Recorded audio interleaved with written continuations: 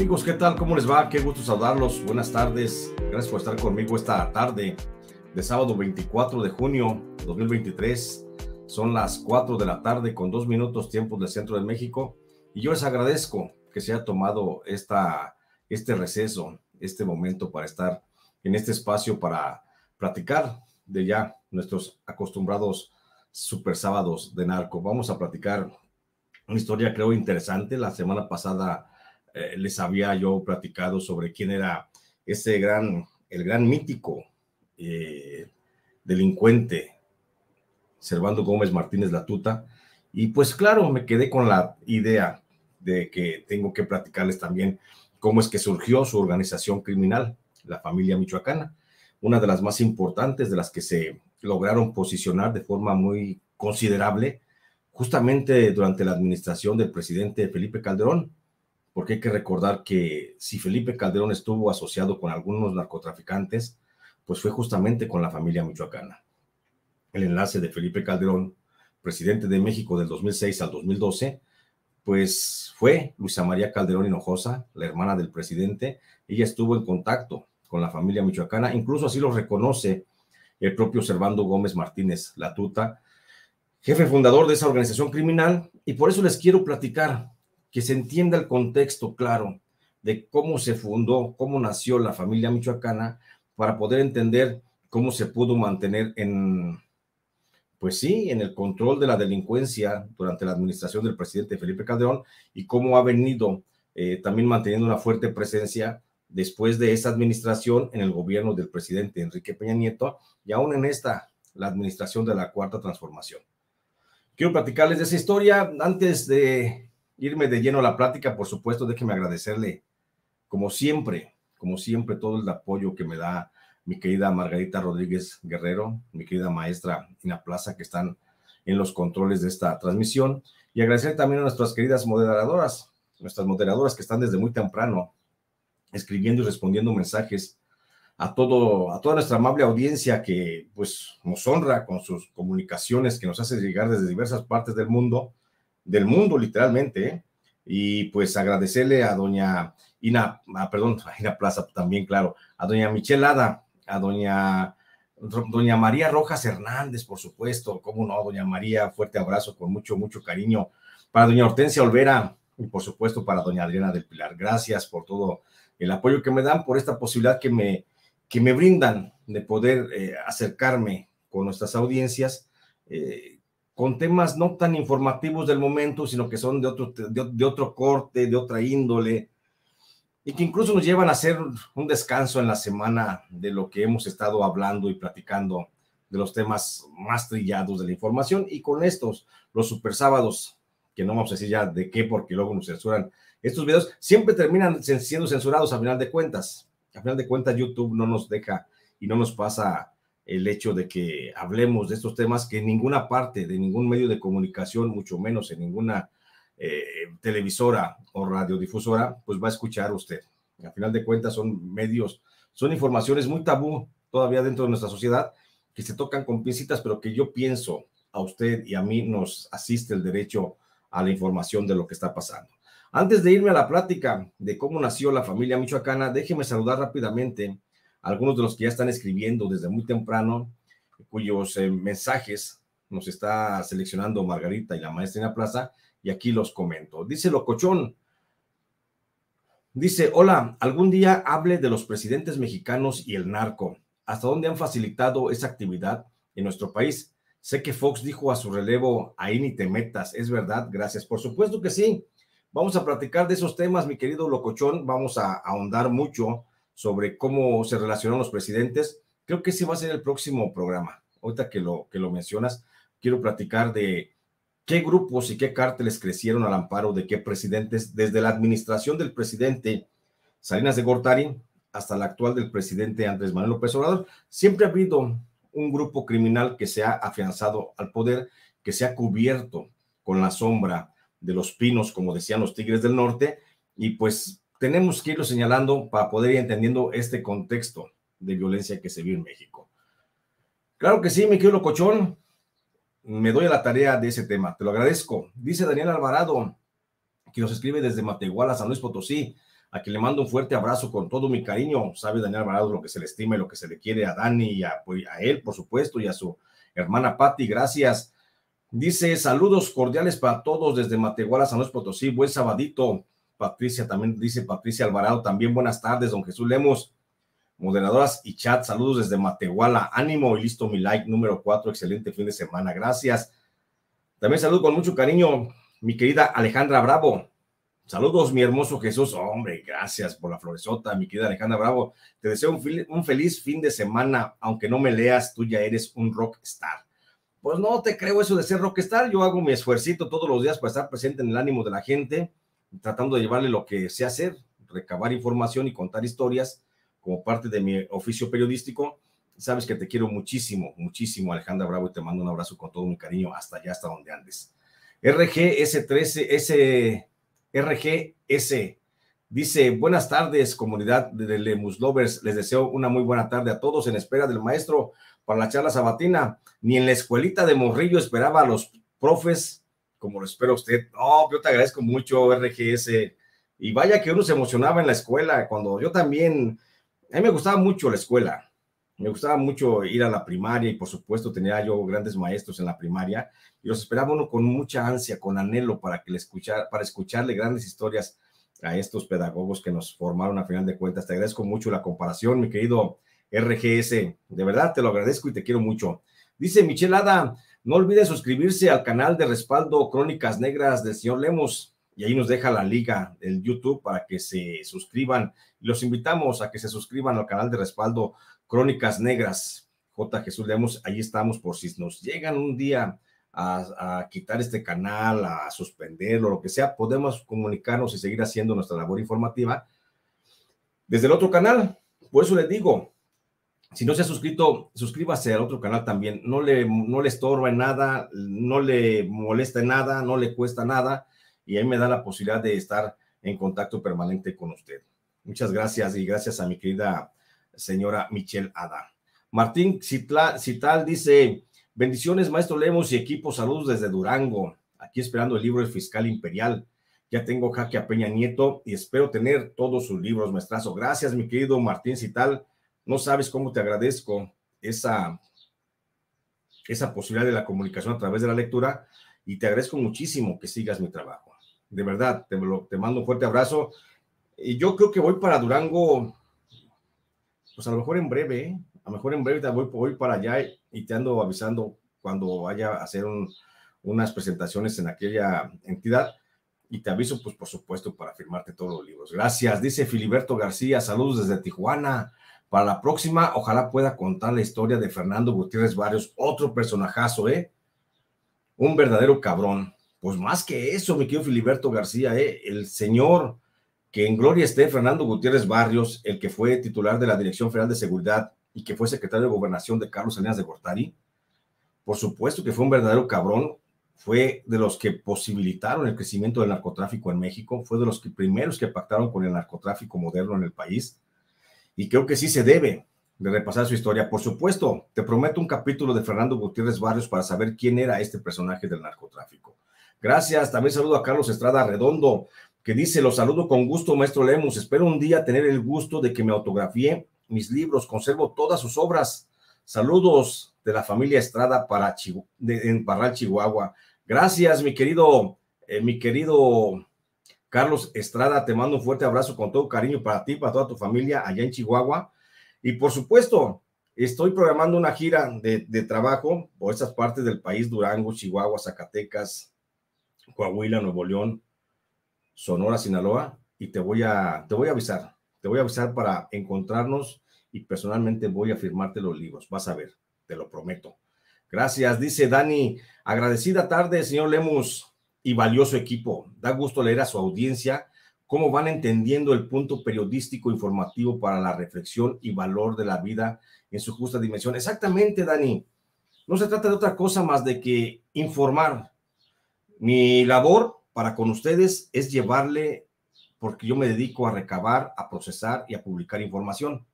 Y es llevar esa información en la forma más certera, más vertical que se pueda, sin sesgos de ningún tipo, solamente con una intención de que ustedes se informen y puedan eh, internar la información y una vez que la internan, puedan formar su propio criterio, sin ningún tipo de desviación ideológica, ni filia, ni ni de filias, ni de fobias. Esa es la labor del periodismo. Esa es la verdadera labor, mi querido Dani, y por eso te lo agradezco muchísimo que estés toda esta tarde con nosotros. Gracias. Rudy Valencia, a quien le mando un abrazo hasta Londres, dice, aquí desde Londres, Inglaterra, esperando al único y capaz de decir la verdad, así les incomode a las otras personas. Maestro Jesús Leemos, saludos. Gracias, Rudy Valencia. Te mando un abrazo con cariño hasta allá, hasta Londres. Ya casi comienzo, nada más termino con estos dos mensajes y nos vamos a la plática. Luis Happy dice desde Wisconsin, agradezco sinceramente estos sábados que nos ayudan a sobrellevar nuestra jornada laboral. Mira, qué palabras tan, tan chingonas, ¿eh? Moderadora Hortensia, Adriana, Michelle, muchas gracias. Gracias, Luis Happy. Y la verdad es que aprecio mucho, mucho estas palabras que consideres que este espacio, este momento de reflexión informativa y los sábados, sobre todo, de información sobre temas tabú, pues te ayuden de alguna forma a sobrellevar la dura jornada laboral. Ojalá que te siga siendo leve, que te beneficie esta información y ojalá sigamos contando con tu, con tu presencia en nuestras pláticas, querido Luis Happy. Felicidades, te mando un abrazo con todo mi cariño. Eduardo Medrano dice, ¿con qué cara hoy Calderón reclama a López Obrador por la violencia? Exactamente. ¿Con qué cara, mi querido Eduardo Medrano, si sabemos que la familia michoacana, aunque no fue hechura de él, sí creció al amparo de él. Creció en forma muy, muy importante cuando eh, Servando Gómez Martínez comenzó a negociar con Luisa María Calderón Hinojosa algunos beneficios para poder hacer su labor delictiva en el país. Gracias. Dice Irving Valdominos, hace unas semanas a una abuelita en Guanajuato le quitaron la vida por no pagar piso.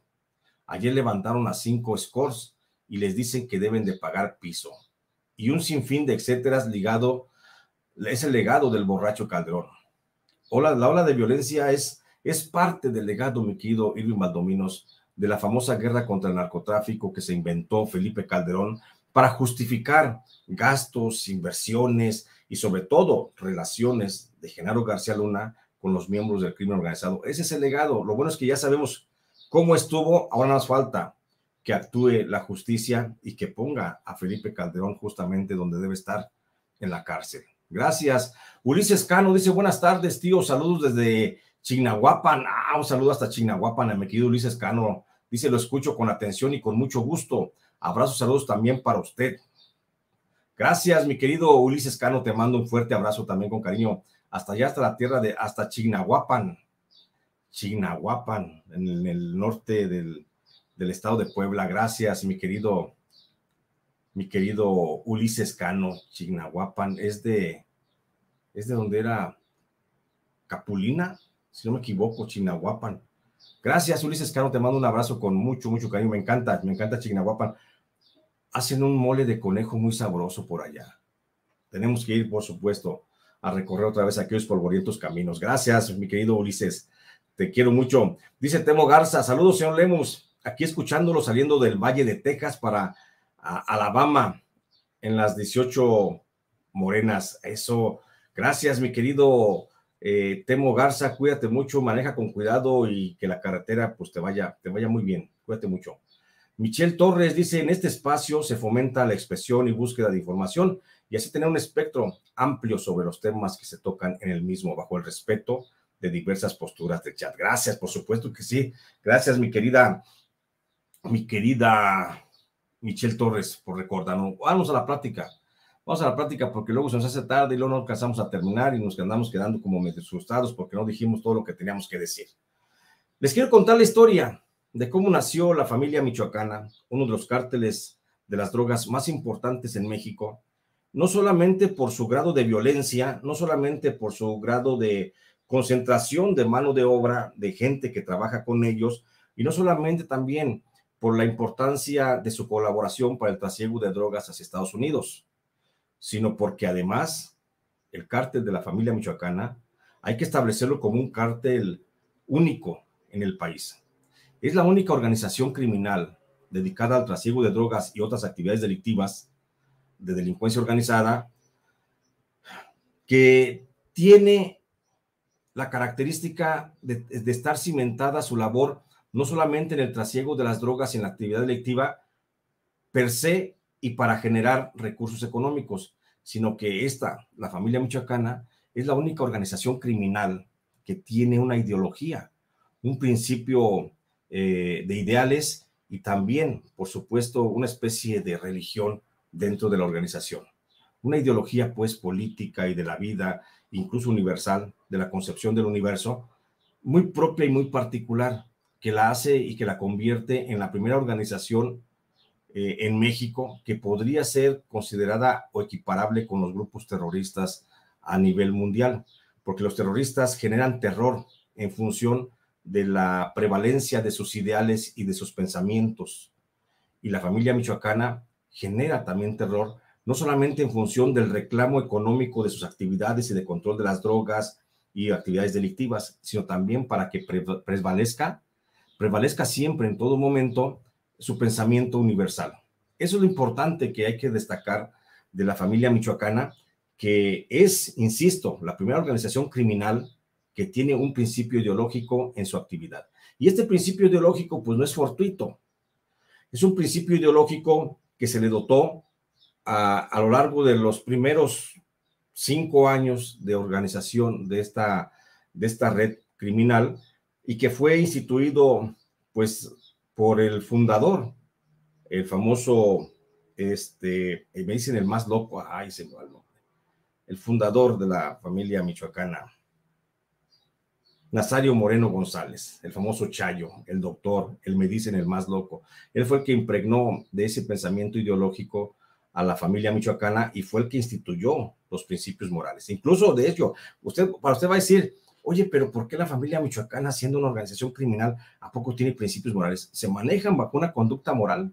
¿Bajo un régimen, bajo un código de principios morales en los que a los miembros de la familia michoacana se les prohíbe incluso el consumo de drogas, el consumo de alcohol, las parrandas, eh, la putería, entre otras cosas. Se les prohíbe de forma muy, muy, muy clara y muy precisa. Hay organizaciones que han derivado de la familia michoacana y que se hacen llamar la familia michoacana y que se han alejado de estos principios ideológicos como si fuera casi una, una secta religiosa. Pero los verdaderos seguidores del principio fundamental de la familia michoacana, ellos siguen manteniéndose en esa línea. Quiero contarles pues esa historia, quiero decirles cómo se dio el surgimiento de la familia michoacana y establecer, por supuesto, que el nacimiento del grupo, del grupo criminal, la familia michoacana, no fue algo fortuito ni incidental. Todo tenía su, su, todo comenzó a tener una serie de orígenes y todo tiene un entendimiento básico. Los, sus principales fundadores estuvieron por mucho tiempo trabajando bajo las órdenes del cártel del Golfo. Eran parte de esa organización criminal y otros de sus miembros de la familia michoacana salieron de lo que era la familia Valencia, pero la mayoría de los pistoleros fueron miembros de los Zetas que decidieron combatir y decidieron cambiar de cártel. También encontraron cobijo dentro de la organización, la familia michoacana, algunos desertores de otros grupos criminales, como algunos que salieron del grupo de Nemesio Ceguera, que ya había tenido el cártel Jalisco Nueva Generación, así como de las células del cártel de Sinaloa que operaron en Michoacán bajo el mando del Chapo Guzmán. Bajo ese principio debemos entender entonces de que eran muchísimos, muchísimos eh, tendencias, muchísimos pensamientos, muchísimas formaciones personales las que comenzaron a, a fundar la familia michoacana. Las versiones oficiales, principalmente los informes de inteligencia militar, insisten en señalar a Carlos Rosales Mendoza como el líder fundador de la familia michoacana. Pero en realidad él había sido detenido el 24 de octubre del 2004, es decir, dos años antes del nacimiento formal del cártel michoacano. Y Carlos Rosales Mendoza fue recluido en el penal federal de Puente Grande. Varios de los miembros de su Estado Mayor sí participaron en la fundación de la familia michoacana. Carlos Rosales fue capturado por elementos del ejército mexicano en el fraccionamiento Vistabella de Morelia, durante un operativo especial donde también fue aprendido Heriberto Lascano, el famoso Lasca, mando principal de los Zetas. Pero Lascano fue liberado inmediatamente al sorprender al grupo especial que tomó por asalto a las 5 de la mañana la residencia de Carlos Rosales. El ASCA pudo engañar a los miembros del ejército encargados del operativo, argumentando otra personalidad. Les dijo que se, bueno, en pocas palabras, se hizo pasar por el velador de la finca y los soldados lo dejaron ir. Tras la detención de Carlos Rosales Mendoza, el michoacano que quedó al frente del grupo local de productores y trasegadores de droga fue Jesús Méndez Vargas, el famoso Chango, quien mantuvo por espacio de casi dos años relaciones directas con el cártel del Golfo a través de Jorge Eduardo Costilla Sánchez, quien, el famoso COS, quien tenía el control del cártel desde marzo del 2003 en una clara disputa con el heredero natural de ese cártel, Antonio Cárdenas Guillén, el famoso y violento Tony Tormenta, apodado, así por su hermano Ociel. Sin el compadrazgo de Ociel Cárdenas Guillén y Carlos Rosales Mendoza, para mediar en la relación los entendimientos entre los michoacanos y el cártel del Golfo para la comercialización de marihuana y amapola hubieran sido muy, muy difíciles. Jesús Méndez Vargas comenzó a diferir sobre los territorios controlados por el cártel del Golfo en Michoacán. La actitud de sometimiento en que se mantenía la población, la ola de violencia y la forma en que calentaban el suelo michoacano, aquellas ejecuciones de los Zetas, fueron la causa del disenso entre Jesús Méndez y Ociel Cárdenas Guillén. El primer indicio de esa separación de los michoacanos que trabajaban con el cártel del Golfo se registró a mediados de noviembre del 2005, cuando los integrantes del grupo de Jesús Méndez Vargas decidieron no ir, no estar presentes en una reunión de trabajo que se llevó a cabo en Monterrey. Allí, en esa reunión, se convocó a los miembros del cártel del Golfo que revisarían, según aseguraron algunos integrantes de la familia michoacana, las recomposiciones necesarias para continuar con el control del estado de Michoacán ante la creciente influencia de los cárteles del milenio y el también reconocido como cártel Jalisco Nueva Generación, las dos principales organizaciones que estaban insistiendo en mantener el control del puerto de Lázaro Cárdenas. Cuando el Estado Mayor de Jesús Méndez Vargas no acudió a la convocatoria del cártel del Golfo allá en Monterrey, hubo un rompimiento tácito, sobre todo en la comunicación.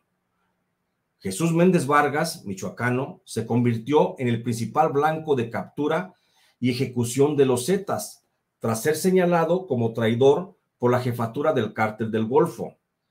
El precio por su cabeza alertó a los michoacanos. Frenaron el trasiego de drogas los, por los conductos establecidos para el Golfo y comenzaron una nueva ruta que ellos mismos abrieron hacia el norte. Y esa ruta de las drogas pasaba por el centro del país, por los estados de Guanajuato, Zacatecas, Durango, Chihuahua y Sonora, hasta llegar a la frontera norte. Tenía dos vertientes, pues. Los michoacanos, aún sin organización formal de un cártel, comenzaron a cooptar por la vía del soborno a los cuerpos policiales de esos estados. Las millonarias invitaciones a permitir el trasiego de drogas no pocas veces llegaron a tocar las puertas de los palacios de gobierno, oficinas de secretarios y procuradores. También se llegó a tocar la puerta de secretarios de la Defensa Nacional. Se tejió una red de distribución donde no se le tenía que pagar derecho de piso a ninguno de los cárteles establecidos en el territorio nacional. Se comenzó a formar una telaraña de corrupción política tan peligrosa como efectiva, y esto fue porque la familia michoacana fue el primer cártel de las drogas que pudo establecer conexiones directas con, con generales y secretarios de la Defensa Nacional, ya desde la administración del presidente Felipe Calderón. Se continuó después durante la administración de Enrique Peña Nieto y hasta la fecha, la familia michoacana mantiene una red de conexión y de una red y conexiones de, contacto y corrupción con miembros de la Secretaría de la Defensa Nacional. En pero déjeme decirle que en tanto se, se estructuraba el ducto por el cual debería de fluir la cosecha michoacana de marihuana y amapola, sumada a embarques de cocaína que comenzaron a ofertarse al por mayor, si no en la, si no en la vía pública, sí en el recinto portuario de Lázaro Cárdenas, el baño de sangre en Michoacán fue brutal. Los zetas entraban a los pueblos de donde eran originarios, los principales jefes y colaboradores del narco de la recién familia michoacana nacida, la que encabezaba Jesús Méndez Vargas, y entraban a aquellos pueblos para asolarlos mediante el terror. Familias completas fueron masacradas en el interior de sus domicilios. Decenas de hombres fueron sacados de sus hogares sin volverse a saber jamás nada de ellos. Sabiendo de su popularidad y arraigo entre la población, Jesús Méndez Vargas, el michoacano que encabezaba al grupo de sembradores de marihuana en Michoacán, convocó a los vecinos de los municipios donde las familias se dedicaban mayormente a la siembra y trasiego de marihuana. Municipios como Tepalcatepec, Aquila, Cualcomán, Buenavista, Tomatlán, Apaxingán, Churumuco, Arteaga, Aguililla y Chinicuila, y comenzó a formar un frente común que permitiera combatir a los escuadrones de Zetas que incursionaban en sus localidades, reconocidos todos ellos por portar una letra Z en la portezuela de todos sus vehículos. En el llamado que hizo Jesús Méndez Vargas, se incluyó a civiles que nada tenían que ver con la siembra de marihuana y se les asignó un salario y se les dotó de armamento y equipos de radiocomunicación. Otros grupos, otros grupos dependientes directos de la estructura que había conformado Jesús Méndez Vargas comenzaron a armarse y encararon frontalmente a los exmilitares al servicio del cártel del Golfo. Para mayor efectividad en la lucha anti-Z, los seguidores de Jesús Méndez Vargas dividieron la región de la Tierra Caliente en comandancias regionales. La primera comandancia regional se estableció por parte de la familia michoacana, se estableció en Apaxingán y la organizó Dionisio Loya. La segunda se estableció en Buenavista, Tomatlán y la encabezaba Enrique Plancarte. A Arnoldo Rueda Medina, el Minsa, le encargaron la seguridad de la tercera comandancia que comprendía los municipios del centro que rodeara la capital del estado, a Morelia. Nazario Moreno se hizo cargo de la protección de la cuarta comandancia que abarcaba los municipios de Coahuayana, Chinicuila y Cualcomán, en tanto que a Servando Gómez Martínez se le encomendó el combate de los Zetas en los municipios de Arteaga, Tumbiscatío, Lázaro Cárdenas y Aquila. Y de todo esto, Jesús Méndez Vargas se declaró como el comandante en jefe de aquel grupo que estaba intentando chocar con los Zetas para expulsarlos del territorio michoacano. Los choques entre los michoacanos y los escuadrones de los Zetas fueron cruentos. No hay cifras oficiales sobre los muertos que dejó esa guerra, ni los organismos del gobierno federal o estatal mantienen datos reales para cuantificar el saldo, el saldo mortal entre los años 2005 y 2006. Tras la refriega, tras las refriegas que se presentaban en forma diaria en todos los municipios de Tierra Caliente, cada bando levantaba sus muertos, recogía las armas de los caídos y se perdían en el accidentado y ardiente paisaje michoacano. En ese marco, el gobernador de entonces, el gobernador de Michoacán, Lázaro Cárdenas Batel, aseguraba que el mayor problema de Michoacán era la falta de educación. Nunca observó el problema de violencia que se estaba gestando y él también podría ser responsable de permitir el crecimiento de la ola de violencia en Michoacán. Lázaro Cárdenas anunció la acción estrella de su mandato. Creó el programa Alfa TV, una mítica acción de alfabetización para adultos mayores basado en el trabajo de 40 profesores cubanos, los que trajo desde la isla hacia Michoacán y les dio los beneficios para trabajar. Y con ese trabajo se aseguró, a solo unos meses de haber estado operando, que se había logrado alfabetizar a 250 mil adultos en Michoacán. Pero el gobierno de Lázaro Cárdenas Batel, para el gobierno de Lázaro Cárdenas Batel, el problema de la violencia y los enfrentamientos entre cárteles de las drogas nunca existió. Y esto fue así porque tan solo en 2005, vecinos de las comunidades de Cualcomán y Tepalcatepec demandaron una investigación por parte de la Procuraduría de Justicia Estatal para dar con el paradero de 86 desaparecidos en apenas dos meses pero nunca hubo una respuesta oficial ni se siguió de oficio la investigación. Desde el gobierno del estado no hubo ningún tipo de apoyo para la población civil que de pronto se encontró en el fuego cruzado de los cárteles. Los michoacanos dedicados al narcotráfico a cargo de cada una de las comandancias regionales en que habían dividido la región sur del estado, trataron de compensar el daño a sus comunidades. Decidieron crear base social. Impulsaron la ejecución de obras públicas, distribuyeron dinero entre los pobres, emplearon perdón, emplearon en el trasiego de droga a los desempleados y contrataron mano de obra para vigilar los caminos y poblados de la zona de Tierra Caliente. El grupo de Jesús Méndez Bravo, Jesús Méndez Vargas, afianzó su presencia en la región. La Tierra Caliente fue el bastión del narcotráfico michoacano tras decretar, decretarla como zona libre de setas a mediados del 2006. En un acto público donde habló Enrique Plancarte Solís, oficialmente se anunció el triunfo de lo que se llamó la familia michoacana sobre los Zetas. El discurso de Kiki, de Kiki Plasencia o la Chiva, como le decían desde niño a este narcotraficante, fue aplaudido por cientos de soldados, perdón, cientos de personas que saludaron con decenas de descargas de cuernos de chivo en la plaza principal de Apaxingán. Tras ser replegados hacia la zona del puerto de Lázaro Cárdenas, los Zetas dejaron de perseguir el control del Estado. Se limitaron a mantener presencia en la zona portuaria para conservar la red de negocios que habían establecido con el cártel de Cali, al que le seguían comprando algunos embarques de cocaína. en la zona de Tierra Caliente, se volvió a sentir el ánimo de los viejos tiempos cuando la siembra de marihuana y amapola se podía hacer sin mayor problema mientras el gobierno estatal miraba hacia otro lado y mientras el gobierno federal no ponía importancia en el crecimiento de las drogas. Y así volvieron a florecer las siembras. Así llegó el 20 de noviembre del 2006. En el municipio de Apaxingán se llevó a cabo una reunión de élite del narcotráfico michoacano. Tras casi un año de solo comunicarse vía telefónica y a veces por cartas escritas, de nueva cuenta, todos los que inicialmente habían establecido relaciones de narcotráfico con el cártel del Golfo volvieron a verse. El único que no estuvo presente en esa reunión fue Carlos Rosales Mendoza, quien permanecía preso en una celda de segregación en la cárcel federal de Puente Grande, en el estado de Jalisco, donde solamente lo sacaban 20 minutos al sol cada día para que pudiera respirar y tomar los rayos del sol. Los michoacanos congregados en la casa de Enrique Plancarte Solís eran los mismos que habían logrado que los Zetas se replegaran.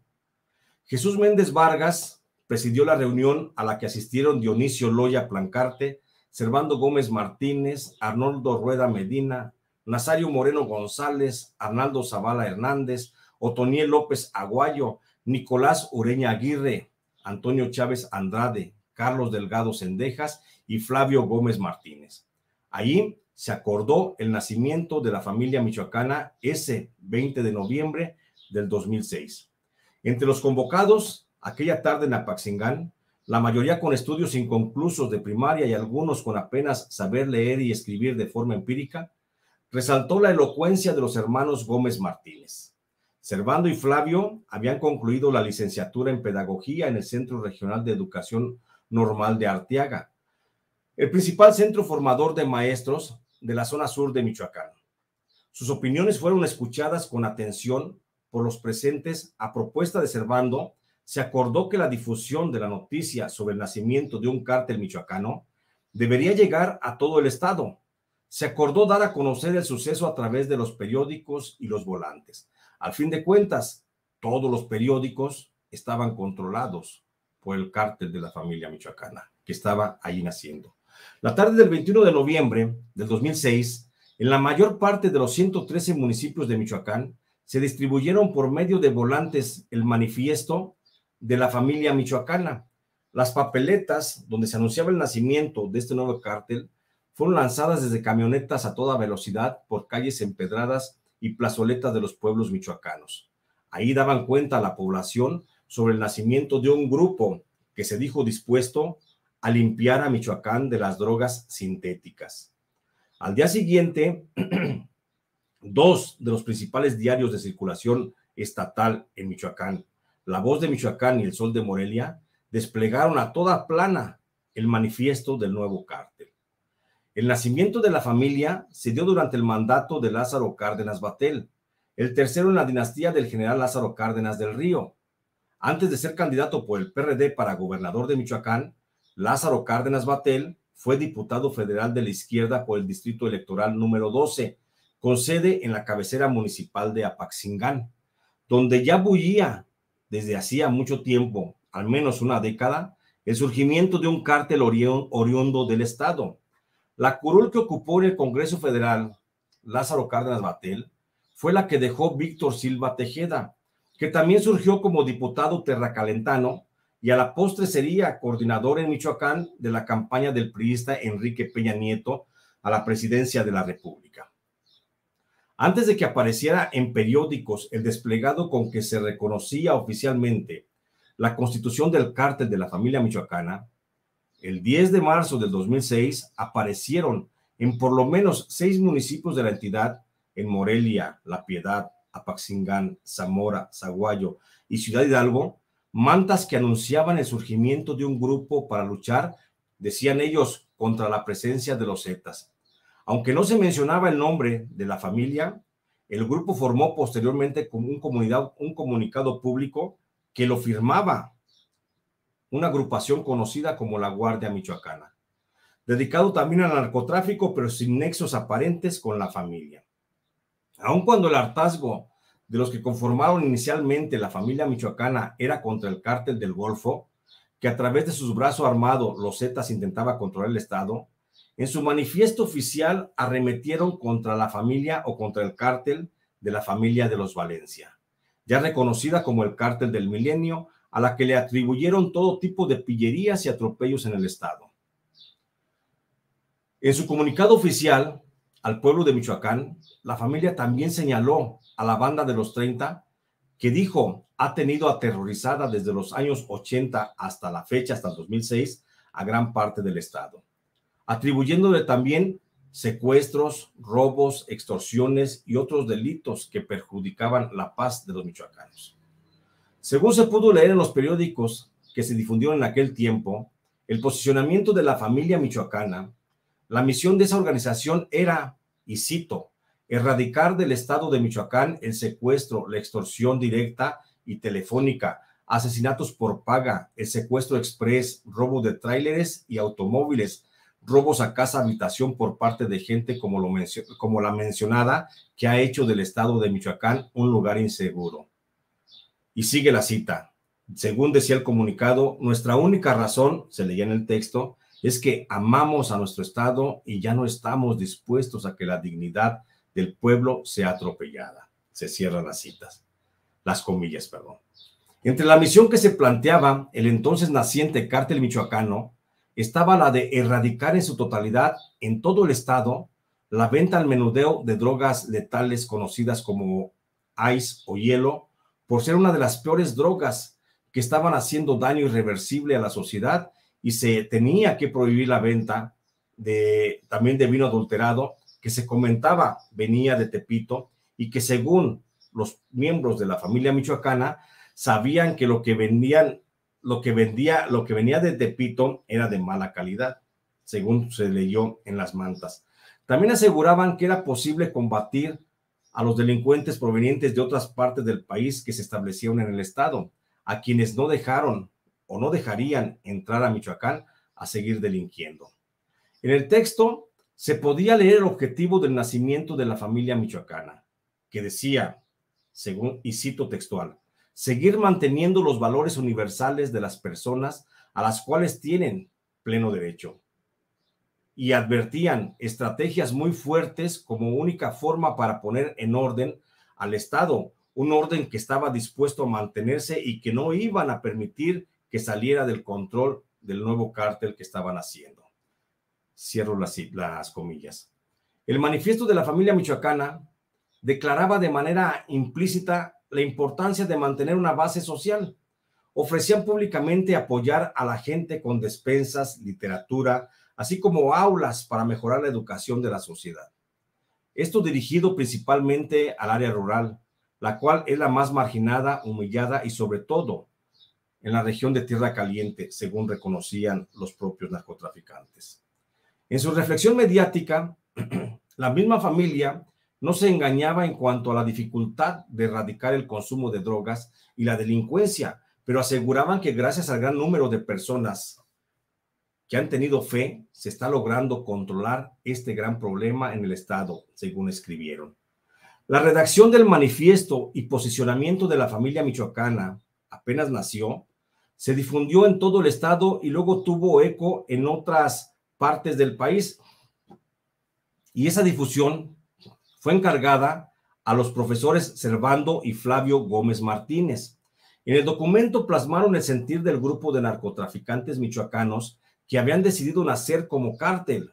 Durante las últimas semanas de noviembre del 2006, el Centro de Investigación y Seguridad Nacional ordenó a todos sus agentes en Michoacán bosquejar la estructura del cártel en cada una de las regiones del estado. Sin embargo, tardaron más de cinco meses en tener resultado porque muchos miembros del Centro de Investigación y Seguridad Nacional estaban ya trabajando para la familia michoacana.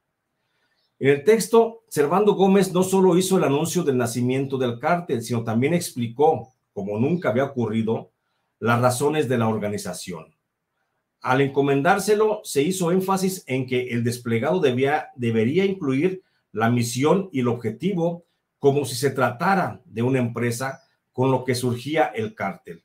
El contenido debería cerrar con, una, con un agradecimiento a los medios de comunicación.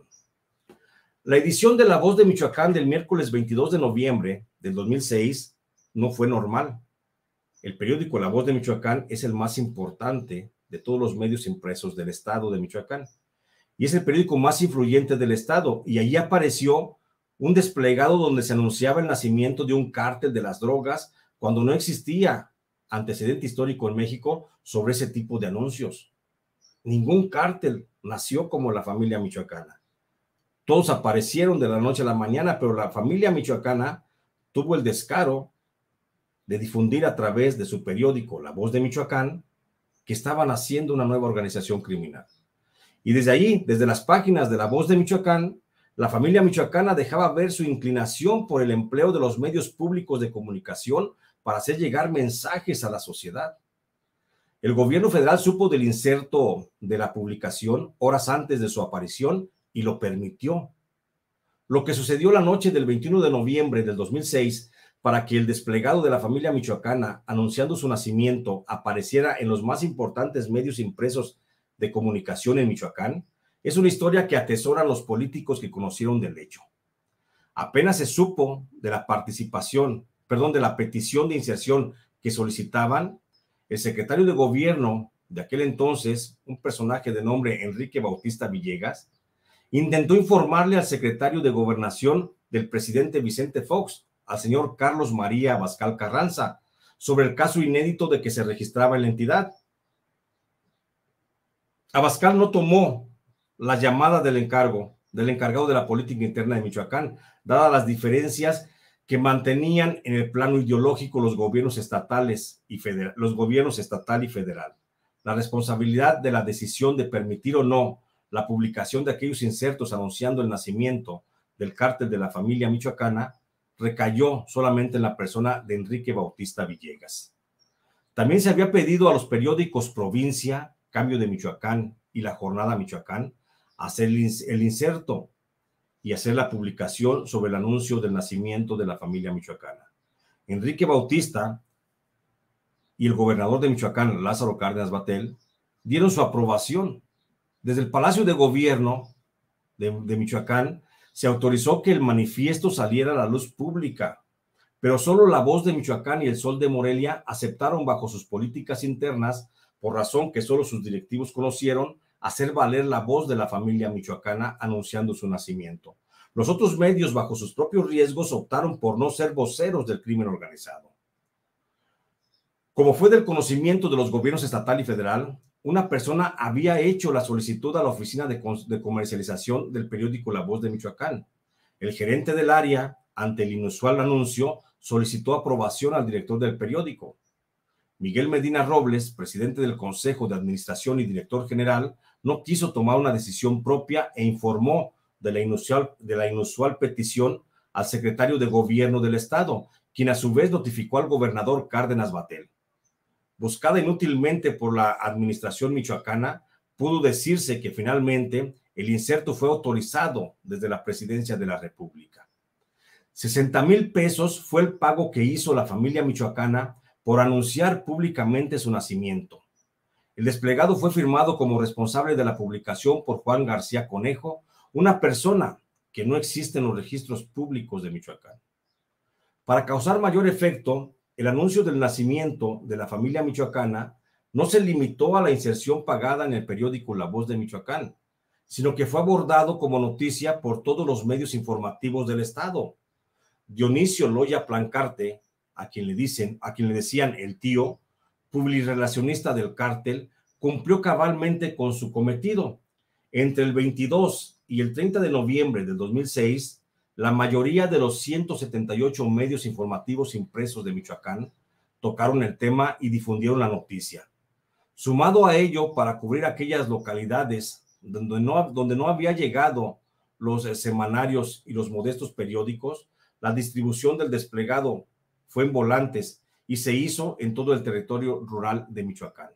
Literalmente fue tapizado todo el estado con aquel desplegado informativo que hablaba de los principios ideológicos de la familia michoacana y con el que estaban haciendo, la intención con la que estaban haciendo este nuevo cártel de las drogas. La familia michoacana, que luego conseguiría el control de todo el estado, fincó inicialmente su fortaleza en los municipios de Apaxingán, Buenavista, Buena, Buenavista, Tomatlán, Morelia, Coahuayana, Chinicuila, Cualcomán, Arteaga, Tumbiscatío, Lázaro Cárdenas y Aquila. En esos municipios tenía pleno control de la estructura municipal de los gobiernos. En el resto de la entidad pudo mantener presencia mediática solo a través de células dedicadas más que al trasiego de drogas, a la compra de autoridades municipales, principalmente mandos policíacos. La estructura de la entonces Policía Judicial del Estado fue minada sin mayor problema por la insistencia corruptora de los operadores políticos del naciente cártel. Se estructuró una red de funcionarios del gobierno estatal que trabajaban abiertamente para la familia michoacana. Comenzó así a organizarla un tal Rafael Cedeño Hernández, un personaje que era agente del Ministerio Público del Fuero Común, que fue contactado por Nazario Moreno González. El sede, así le decían a Rafael Cedeño, el sede fue el encargado de mantener aceitada la estructura policial del estado de Michoacán para someterla al servicio de la familia michoacana. Los primeros resultados fueron satisfactorios para el grupo criminal. Muy pronto la familia michoacana depositó en el sede toda la confianza para reclutar a policías, agentes del Ministerio Público, secretarios de juzgados estatales y federales, agentes de tránsito, jueces, así como a peritos en criminalística y hasta periodistas para ponerlos a trabajar al servicio del cártel de la familia michoacana. Nazario Moreno González conocía a Rafael Cedeño desde mediados de 1988. Lo contactó por medio de un pastor cristiano cuando frecuentaba una congregación religiosa en Michoacán. Le llamó la atención el que Cedeño fuera mencionado por el pastor como el licenciado de la policía, por ser agente del Ministerio Público. Nazario contactó al, al, sede. Conversaron y a la brevedad, Cedeño, identificado con el fervor religioso de Nazario, se puso a sus órdenes.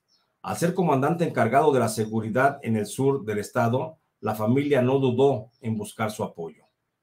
La presencia de Cedeño, con un perfil extremadamente religioso, es el origen del carácter ideológico místico dentro de la estructura de la familia michoacana, que luego habría de distinguirla frente a los otros segmentos organizados del narcotráfico en el país.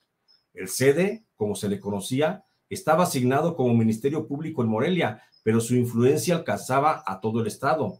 Como primer acto de trabajo, debía evitar la consignación judicial de un grupo de pistoleros detenidos con armas y cocaínas en Uruapan.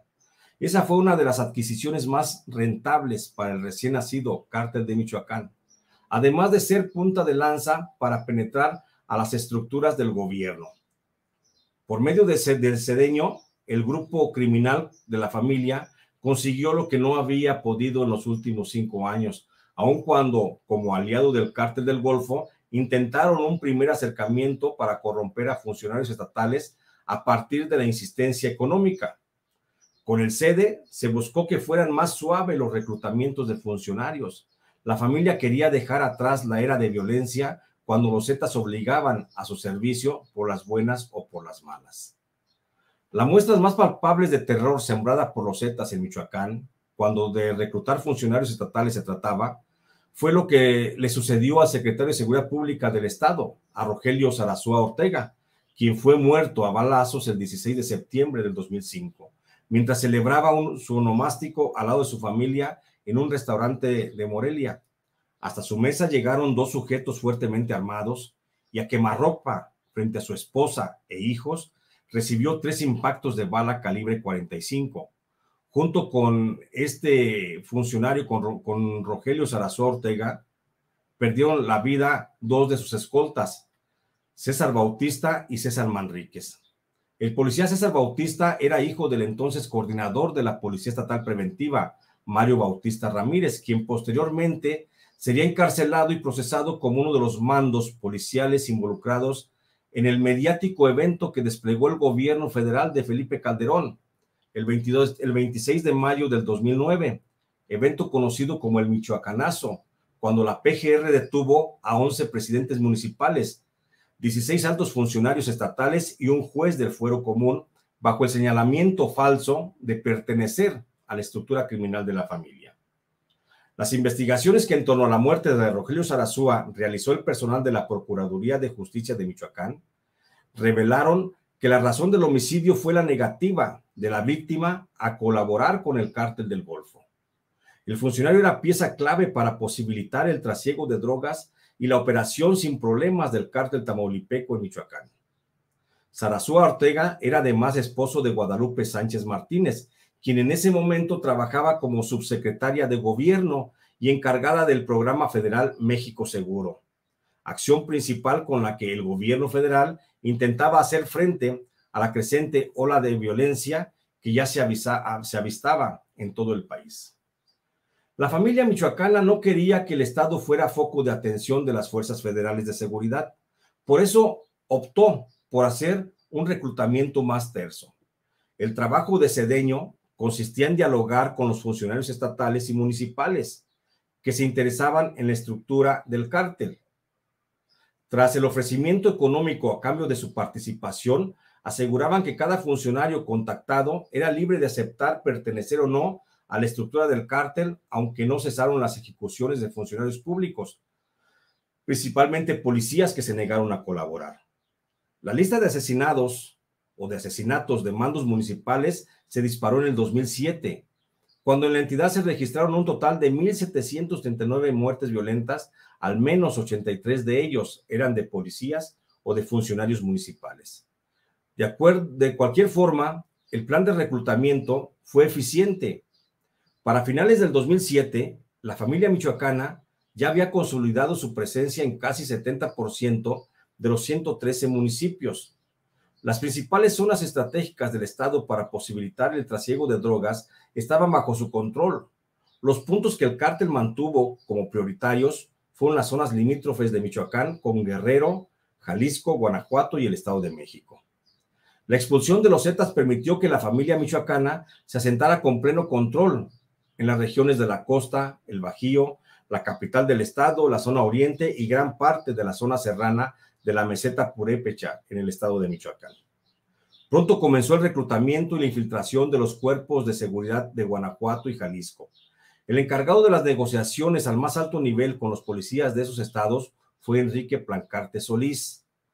La familia michoacana diseñó su estrategia de infiltración de las policías estatales a partir de la nueva ruta de trasiego de drogas que había trazado desde que dejó de prestar sus servicios al cártel del Golfo compraron elementos de policía en Guanajuato, Zacatecas, Durango, Chihuahua, Sonora y Baja California. La ruta por el centro del país comenzó a ser una realidad a partir de los primeros meses del 2008. Los precios tasados para comprar policías estatales en el centro y norte del país se ubicaron desde 50 mil hasta 300 mil pesos mensuales. Exmiembros de la familia michoacana aseguran que las negociaciones de las que en ocasiones tenían que encargarse el propio Jesús Méndez Vargas, en su calidad de jefe principal del cártel michoacano, llegaban a veces a las oficinas principales del cártel michoacano. Llegaban, perdón, llegaban a veces a las oficinas de los mandatarios o por lo menos de los procuradores de justicia. En el año en el año de acuerdo para la creación de las nuevas rutas del narcotráfico desde Michoacán, los gobernadores de los estados involucrados que fueron comprados por el cártel de la familia michoacana se encontraban en Guanajuato el panista Juan Manuel Oliva Ramírez, en Zacatecas la perredista Amalia García Medina, en Durango se compró al priista Ismael Hernández Deras, en Chihuahua se acordó un, un tráfico de drogas con el gobernador José Reyes Baeza Terraza del PRI, en Sonora, el priista Eduardo Bors, en Baja California, el panista José Guadalupe Osuna Millán tuvieron relación con el cártel de la familia michoacana.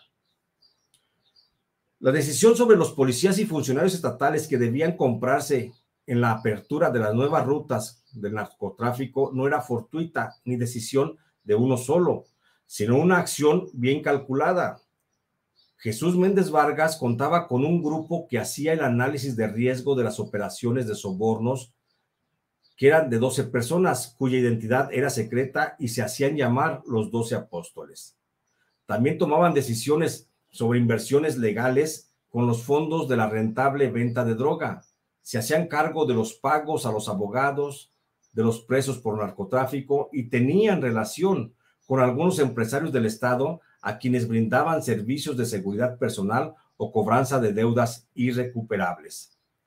Por decisión de los doce apóstoles, en los últimos días de octubre del 2006, la familia se involucró en el asunto del adeudo de un personaje llamado Alfonso Reyes Hinojosa con unos empresarios. Alfonso Reyes Hinojosa era primo hermano del presidente Felipe Calderón. Y los empresarios solicitaron el apoyo del cártel de la familia michoacana para lograr establecer el compromiso por Alfonso Reyes Hinojosa para que le pagara un adeudo que mantenían.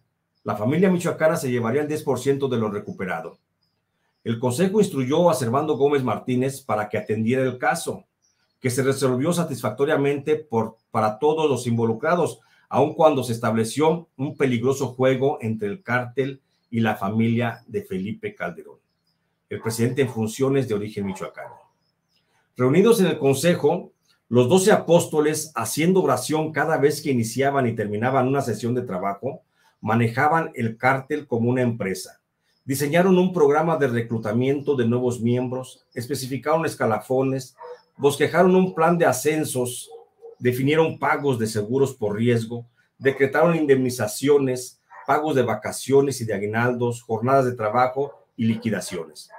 Se reunían de manera seguida, por lo general en la localidad de Uruapan y en Morelia. Desde la cúpula del Consejo de los Doce Apóstoles se ordenó a finales del 2006 que se hicieran las inversiones necesarias a fin de duplicar el número de personas al servicio del cártel. Se recomendó la contratación de policías municipales a los que se ofrecía un salario que iban desde los 5 mil hasta los 15 mil pesos mensuales por realizar labores de vigilancia e información, lo que luego sería clasificado como delito federal contra el sistema de seguridad pública, el llamado halconeo. También fueron los doce apóstoles quienes decidieron crear una estructura propia e independiente similar a la de la policía judicial, la judicial estatal, al interior de cada célula de las que operaban en la mayoría de los municipios del estado. A los jefes de plaza se les asignó rango de comandantes. Cada uno tenía hasta tres o cuatro jefes de grupo y cada grupo estaba conformado por no más de cuatro sicarios. Cada comandante debía aportar sus acciones y debía reportar sus acciones y novedades a una comandancia regional que agrupaba no más de tres plazas. En cada comandancia había un encargado de nómina y un administrador general. Las prestaciones sociales con que contaban los miembros de la familia michoacana eran las mismas de un trabajador promedio en el país, a veces mejores, incluso descanso dominical, jornada de trabajo de no más de ocho horas diarias, vacaciones de ocho días al año, pago por accidentes o riesgos de trabajo, pensión permanente para las viudas o huérfanos, pago de abogados en caso de ser sometidos a proceso penal por causa, de servicio al cártel y ejecución inmediata en caso de traicionar a la familia michoacana. Las mismas prestaciones vigentes en Michoacán se hicieron extensivas a todos los policías estatales que ingresaron a la nómina del cártel, a nivel nacional. con las prestaciones económicas y laborales ofrecidas por la familia michoacana, en un estado donde el nivel de pobreza es de lo más agudo de todo el país, donde siete de cada diez niños manifiestan algún grado de desnutrición, donde el índice de emigración en busca de empleo lo engrosan seis de cada diez adultos y donde cualquier padecimiento puede ser causa de defunción por no tener atención médica al alcance, el servicio al cártel fue una buena alternativa la única, incluso para algunos, en algunas comunidades rurales, donde se come una sola vez al día. Y se puede tener en años, para, si se puede tardar en años para remontar la pobreza que los gobiernos estatal y federal nunca reconocieron. La familia michoacana comenzó a operar con una plantilla estimada en 396 hombres antes de un año este, antes de un año, este número de sus integrantes ya llegaba a más de 6 mil, no solo en el estado, sino en todas las ciudades por donde pasaba la nueva ruta del narcotráfico. A la fecha, hasta el 2023, se estima que la fuerza laboral que mantiene la familia michoacana supera a los 8 mil trabajadores, tanto hombres como mujeres, en diversas actividades de narcotráfico. En Michoacán el reclutamiento era un guion bien ensayado. Una camioneta con sicarios a bordo arribaba a las comunidades marginadas, reunía a los hombres jóvenes del lugar, todos desempleados sentados en las esquinas o en las afueras de tendajones del pueblo, y les hablaban de la nueva organización que estaban haciendo. Les explicaban la necesidad de proteger a las comunidades para que no volvieran a llegar los Zetas ni ningún otro grupo criminal. Y la contratación era inmediata. Los que aceptaban recibían un pago por adelantado de 5 mil a 10 mil pesos. Les dotaban de armas cortas y los convocaban a un entrenamiento. Los iniciados eran llevados a un campo de entrenamiento que algunos ubican en las inmediaciones de Uruapan, otro en la zona de Apaxingán y hay quienes aseguran que hay otro que está ubicado en la zona suburbana de Morelia. La capacitación duraba de 5 a 8 días, según habilidades para disparar del instruido. Se le entrenaba en manejo de armas y defensa personal. Se le daba un curso de supervivencia, se le instruía para perder el miedo a matar y luego pasaba a una instrucción ideológica donde hacía un, juramento de lealtad. Los reclutas que aprobaban el curso regresaban a sus comunidades a bordo de una camioneta y portando armas largas que les suministraba el cártel. Estaban siempre bajo las instrucciones de un jefe de grupo que les asignaba tareas desde labores de vigilancia en sus demarcaciones hasta traslados de droga en unidades que les eran entregadas en sus propias plazas. No se les permitía el narcomenudeo ni el consumo de drogas o alcohol. Estaban penado por la, con la muerte robar a causa de desmanes en las plazas en que eran asignados. Después de un tiempo, a la manera de los cuerpos estatales de policía, los reclutas eran rolados a distintas plazas bajo el mando de diferentes grupos jefes de grupo y comandantes locales. La red de corrupción oficial que tejió la familia por todo el país fue eficiente. En menos de un año de operación, el cártel de la familia michoacana estaba a la altura de cualquier otro grupo del narcotráfico en cuanto a competencia para la producción y trasiego de drogas hacia la Unión Americana. La DEA tardó casi cuatro años en reaccionar y reconocer la nueva red diseñada por la familia michoacana. Fue hasta el 2012 cuando reconoció el uso del puerto de Lázaro Cárdenas como el principal centro en México de introducción de cocaína de Colombia a Estados Unidos. En el 2008, la ruta diseñada por la familia michoacana se sumó a los 12 trayectos que ubicaba para ese entonces la DEA. La primera puerta de entrada de la droga michoacana, cocaína y marihuana, generada por la familia, fue siempre la ciudad de Tijuana pero llegado 2010 se abrió la frontera, se abrió en la frontera un nuevo punto que tenía como destino el estado de Texas, Laredo. Tras el establecimiento de sus propias rutas para el trasiego de drogas a Estados Unidos y con el control de casi toda la zona costera del estado y parte del puerto de Lázaro Cárdenas, la familia decidió, a partir del 2009, diversificar las drogas que traficaba aun cuando en su origen el cártel michoacano manifestó su cruzada para terminar con la presencia de las drogas sintéticas resultantes de la síntesis química de la efedrina, anfetaminas y metanfetaminas, terminó por elaborar esas mismas sustancias y es que en la lucha contra los Zetas y el cártel del Golfo, las células de la familia se fueron apropiando de los laboratorios clandestinos donde se elaboraban drogas químicas por parte de los Zetas y del Golfo. A principios del 2009, en Michoacán, principalmente la franja de la zona Sierra Costa Nagua, el área geográfica que se extiende desde Guerrero y llega a Colima, se convirtió en el principal laboratorio de drogas sintéticas de todo el país.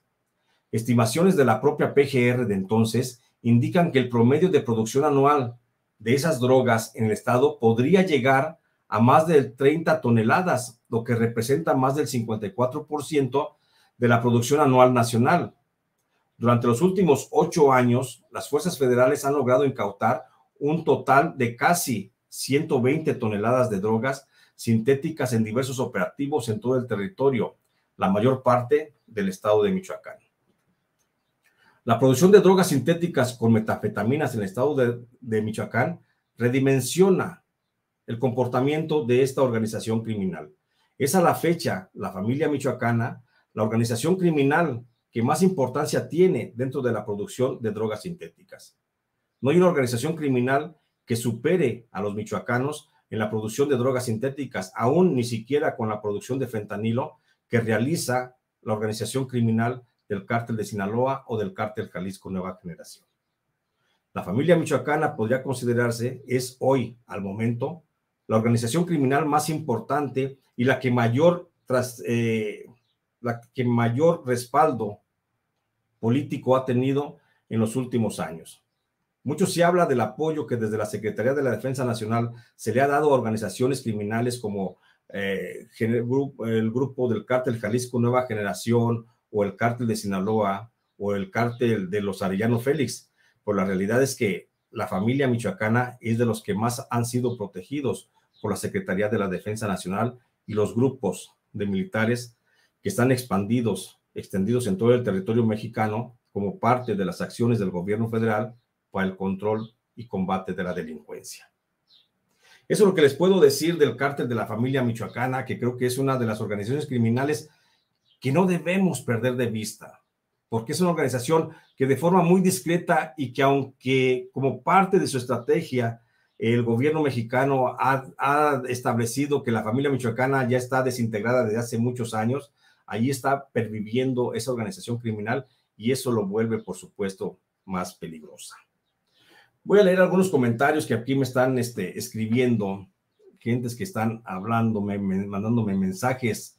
Y dice Ulises Cano, ah, estaba el de Ulises Cano.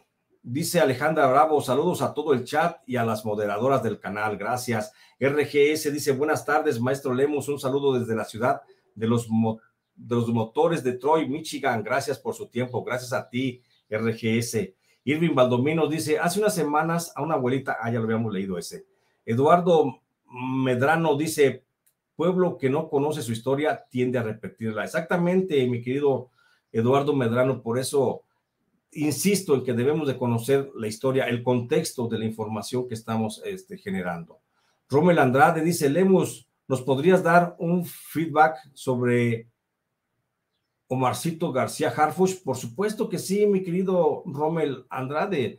Ya lo hemos dicho y hay que establecer, pues hay que hacer un programa precisamente de Omar García Harfush, quien es eh, familiar, bueno, tiene relaciones familiares desde hace tiempo con grupos del narcotráfico. Acuérdate que su abuelo Marcelino García Barragán, pues fue el secretario de la Defensa Nacional que hizo la matanza del 68, aunque el presidente, bueno, no voy a hablar de política hoy, no voy a hablar de política.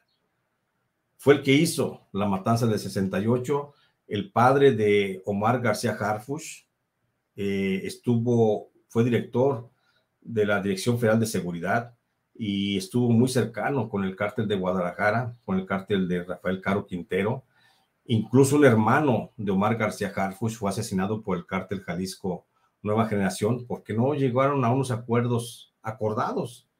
¿Sí? Entonces ahí vamos a establecer eso, mi querido Robert Andrade, si vamos a hacer ese feedback de quién es Omarcito García Harfuch.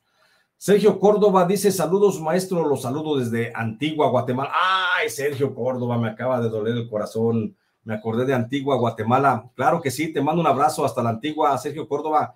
Nos vemos por allá muy, muy, muy pronto, más pronto de lo que podemos imaginar. Nos vemos por allá en Antigua, Guatemala, mi querido Sergio Córdoba. Gracias. Te voy a avisar para ver si nos vemos por allá. Te mando un abrazo con mucho cariño. Omar Graves dice, muy buenas tardes, Jesús. Tengo una pregunta. Con respecto a la obra de los malditos, el Chapo se considera el narco más poderoso del penal de Puente Grande. Sí, mi querido Omar Graves, cuando yo estuve en la cárcel federal de Puente Grande y que escribí Los Malditos prácticamente desde adentro de la cárcel, debo decirte que sí, que en el imaginario de los presos de la cárcel de Puente Grande, el reo más importante que, pasó por las celdas de Puente Grande fue sin duda el Chapo Guzmán. Ni siquiera Rafael Caro Quintero, que también estuvo por ahí muchos años, o el Mayo Zamba, no, este, el Güero Palma, que también estuvo ahí muchos años, o el propio Alfredo Beltrán Leiva, el Mochomo, ni siquiera a ellos se les consideraba. Y hay otros grandes narcotraficantes, Armando Amezcua Contreras, por supuesto.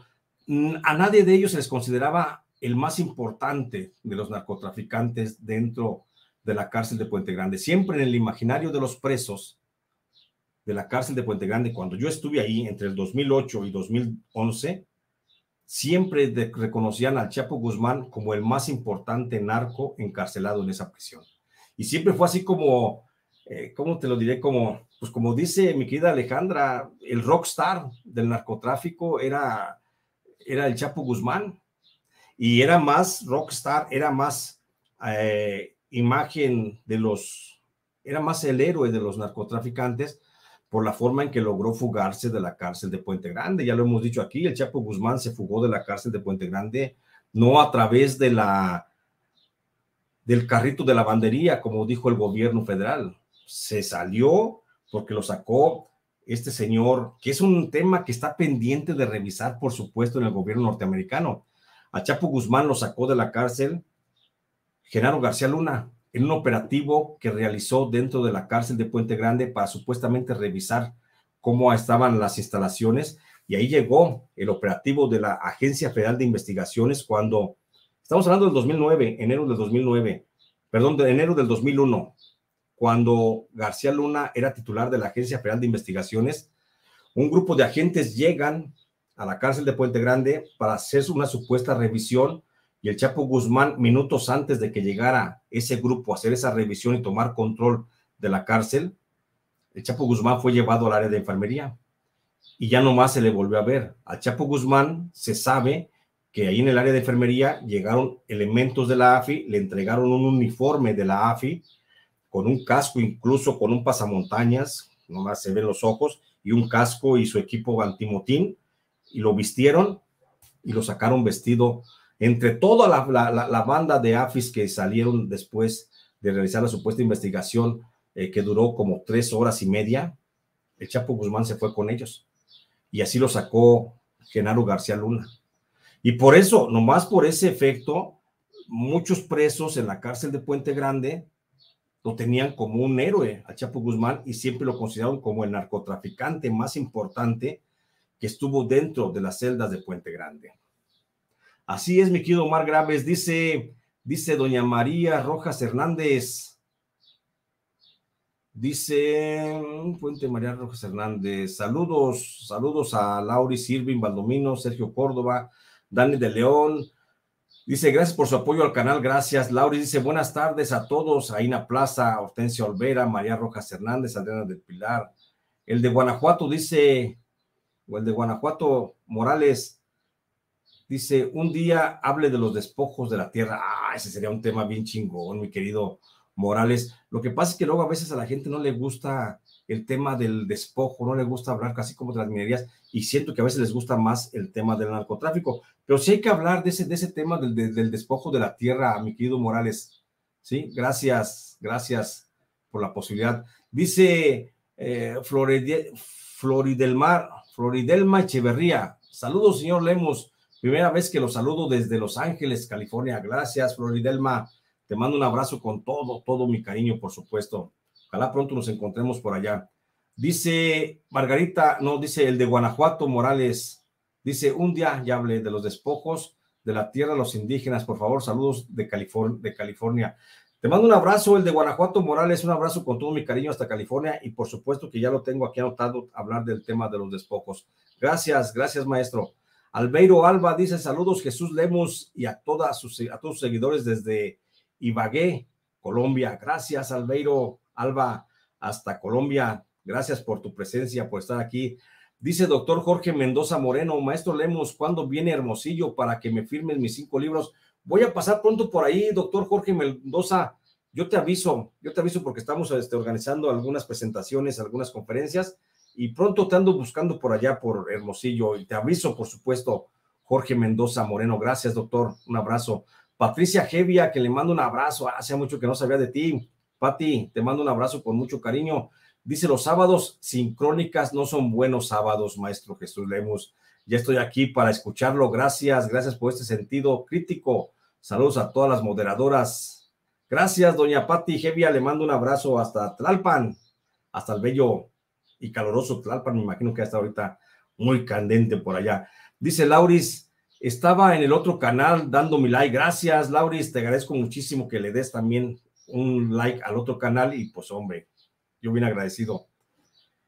Gloria Verduzco dice, hola, señor Lemus, salúdeme, ya no tiene mucho, ya tiene mucho que no me lee, aquí estoy no me ha leído. Buen sábado a todos. Mi querida Gloria Verduzco, te mando un abrazo, saludos con mucho, mucho cariño, hasta donde andes, no sé ni por dónde andes, pero te mando un abrazo con mucho cariño, sabes que te quiero y siempre te leo. Mire, usted no crea que no leo. Yo todos los días antes de dormirme, lo último que hago en mi actividad diaria es ponerme a revisar y a leer el chat. Y leo todos los mensajes de usted y me normo un criterio de por dónde va, qué le gusta, qué no le gusta. Todo esto lo, lo, asumo. Créame que es un ejercicio que hago todos los días y me, y me gusta. Pero sí los leo a todos. Luego a veces no hay forma o no hay tiempo de una respuesta personalizada a cada una de, de, de las personas que están en la audiencia. Lamento mucho eso a veces, pero sí trato, trato de estar en eso, en todo, pero siempre leo todos sus mensajes. Así de que siempre la leo, mi querida Gloria Verduzco. Gracias. Doña Gladys, gracias por la superetiqueta, gracias por el apoyo. Dice, buenas tardes, don Jesús, para la caguama, que nos estamos chamuscando. Sí, fíjese que sí. Estamos muy, muy, muy calurosos. Está, está haciendo, no sé, acá creo que estamos a 36 grados. Acá donde estoy está caliente, está sumamente caliente este, este ambiente. Y ya, ya se me antojó la caguama. Ya me voy, estoy tomando cafecito. Mire. No tiene moscas, no. Se antoja la caguama. Gracias. Dice Jesús Vela, Tocayo Lemos, que Dios lo proteja. Me gusta su crítica. Son muy pocos como usted. A veces me encabrono, pero es la verdad. Y la verdad por delante. Gracias, Jesús Vela. Mira, lo último que yo quiero es que la gente se moleste con lo que yo digo. Pero la verdad a veces tiene que ser dolorosa. Y hay que decir las cosas como son. No, no podemos vivir en un pinche mundo de mentiras. Gracias, Jesús Vela, te abrazo con cariño. Dice doña Marcela Reynoso Vélez, hable de las mujeres en el narco. La historia no está completa sin la presencia de las mujeres. Tiene mucha razón Marcela Reynoso Vélez, pero miren, le voy a decir una cosa y espero me lo entienda. Por una decisión personal, no me gusta hablar, bueno, cuando la noticia es ya trascendental y que no la puedes ocultar, pues no, ya no te queda opción. Pero no me gusta hablar de las mujeres del narco porque porque ahí sí se me molestan muchos, muchos narcotraficantes cuando hablan de sus mujeres. ¿Y quién no? ¿Quién no se molestaría si, si hablaran de sus mujeres? Este, yo más menciono a las mujeres del narcotráfico que están relacionadas directamente en el narcotráfico. Yo no tengo por qué hablar de las esposas de fulano o de sutano, si no tiene nada que ver con el narco, si su única error, por decirlo, pues es, es estar enamoradas de un narcotraficante y, y así como se enamoran de un narcotraficante, es lo mismo de lo que se, el que se enamora de un profesor, pues te enamoras de un narcotraficante, es lo mismo. Entonces, se me hace bien delicado el tema, y si ese sí le digo, cuando se habla o se toca el tema de las mujeres del narco, creo que sí es como, ahí sí le anda tentando uno los huevos al diablo, ¿eh? porque sí puede causar molestia, y además son, son personas pues, que también tienen derecho a su intimidad tienen derecho a, no ser mencionadas por el hecho de que nada más tengan relación con el narcotráfico. Mientras no estén involucradas en actos criminales y mientras su única relación con el narcotraficante es el amor, es la familia, es tener hijos con un narcotraficante, se me hace muy delicado y creo que es antiético tratarlas, exhibirlas públicamente. Y por eso casi no, no me gusta hablar de las esposas de los narcotraficantes, cuando la mayoría de ellas, su único delito, se podría decir así, es estar enamoradas y tener una familia y una relación personal. Por eso casi no toco el tema de las mujeres. Pero Marcela Reynoso, voy a buscar aquellas mujeres que verdaderamente sí están relacionadas en el narcotráfico y de ellas sí podemos hablar sin mayor problema. Gracias, doña Marcela, gracias. Saludo a mi querida Hortensia Olvera, gracias por la superetiqueta, mi querida Hortensia Olvera, gracias, gracias de verdad. Dice, gracias a todos y todas por su valiosa presencia y apoyo al canal de J. Jesús Lemos. Y gracias a usted por la superetiqueta, doña Hortensia, sirve de mucho. Le mando un fuerte abrazo con todo mi cariño. Dice Alejandro Gámez, abrazo, maestro Lemos, Chesnarcos, no es que dice, dice, pues como lo, lo escribió, abrazo, maestro Lemos, Chesnarcos, HDSPTMDRE. No me metas en camisas de, un, varas, no le podemos mentar la madre a nadie, Alejandro Gámez, y menos a estas gentes, porque luego nos andan correteando. Dice Corta, Felipe Corta, ¿y por qué anda libre la cocoa? Pues yo también me pregunto. ¿Por qué anda libre la Cocoa si tiene una relación, tuvo una relación cercana con Servando Gómez Martín Latuta? No nomás dicho por mí, dicho por Servando Gómez Martín Latuta, dicho por la esposa de Servando Gómez Martín Latuta, la Cocoa le hablaba a la tuta para pedirle favores. ¿Por qué está libre? Porque la impunidad, porque mi fuerte no es la venganza, dijo uno. Pues por eso, ¿qué más? Pero no vamos a tocar política hoy porque hoy es sábado de respetar a la política. Hoy no vamos a hablar. Gerardo Larios dice, ¿tienes información sobre el cochiloco Salcido? Ah, sí, cómo no, a este Uceta Salcido, por supuesto que sí, Gerardo Larios. Hay que hacer un programa, se merece un programa el cochiloco, ¿eh? Manuel Uceta Salcido, el famoso cochiloco. Voy a hacer un programa también de él. Claro que sí, oh, tenemos para hacer muchos programas de muchos, muchos, una, una gran serie del mundo del narco. Gracias, Gerardo Larios. Navarrete Javier dice saludos desde Cancún, México, maestro Lemos. Gracias, mi querido amigo, un saludo hasta allá. Dice Carlos Peinberg, no, maestro Lemos, la familia michoacana surgió con las famosas autodefensas. Mi querido Carlos Peinberg, las defensas surgen, las autodefensas surgen en contrapeso de la familia michoacana. Yo así lo establezco en mi libro, escribí un libro sobre eso, se llama Tierra sin Dios, Tierra sin Dios, ahí está mi querido Carlos Peinberg. Gracias, te mando un abrazo con mucho cariño. Dice Fercho el Patriota, saludos, maestro Lemos. Lo escuchamos en el restaurante donde trabajamos en New Jersey. Gracias, Fercho el Patriota. Un saludo a toda la banda que está trabajando allí en el restaurante en Nueva Jersey, en New Jersey. Gracias, un abrazo. Y pásenla, pásenla bien y a juntar hartos pinches dólares, hartos dólares que hay que hacer grande al país. Y qué bueno que le echan las ganas, mi querido Fercho. Nada como la gente trabajadora. Mis respetos y mi admiración para ti, eh, Fercho, y para toda la banda que está por ahí presente, echándole chingados a la vida, que no queda de otra. Gracias. Alfredo Conejo, saludos Jesús, manda un super mega saludo hasta Aragón, Guanajuato. Aragón, ¿dónde es Aragón, mi querido Alfredo Conejo? Aragón, Aragón, Aragón.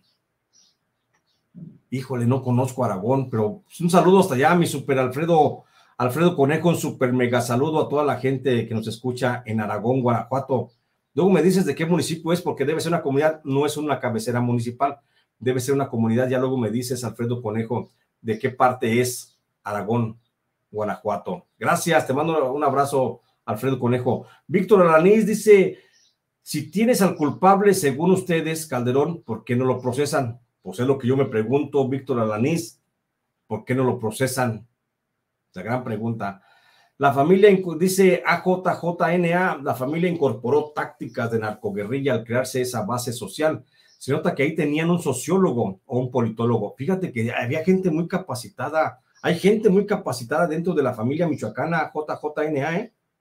gente estudiosa. Por eso yo destaco mucho en esta historia que Servando Gómez Martínez de la Tuta es el primer narcotraficante, si no me equivoco, es el primer narcotraficante de élite, de la cabeza, que tiene licenciatura.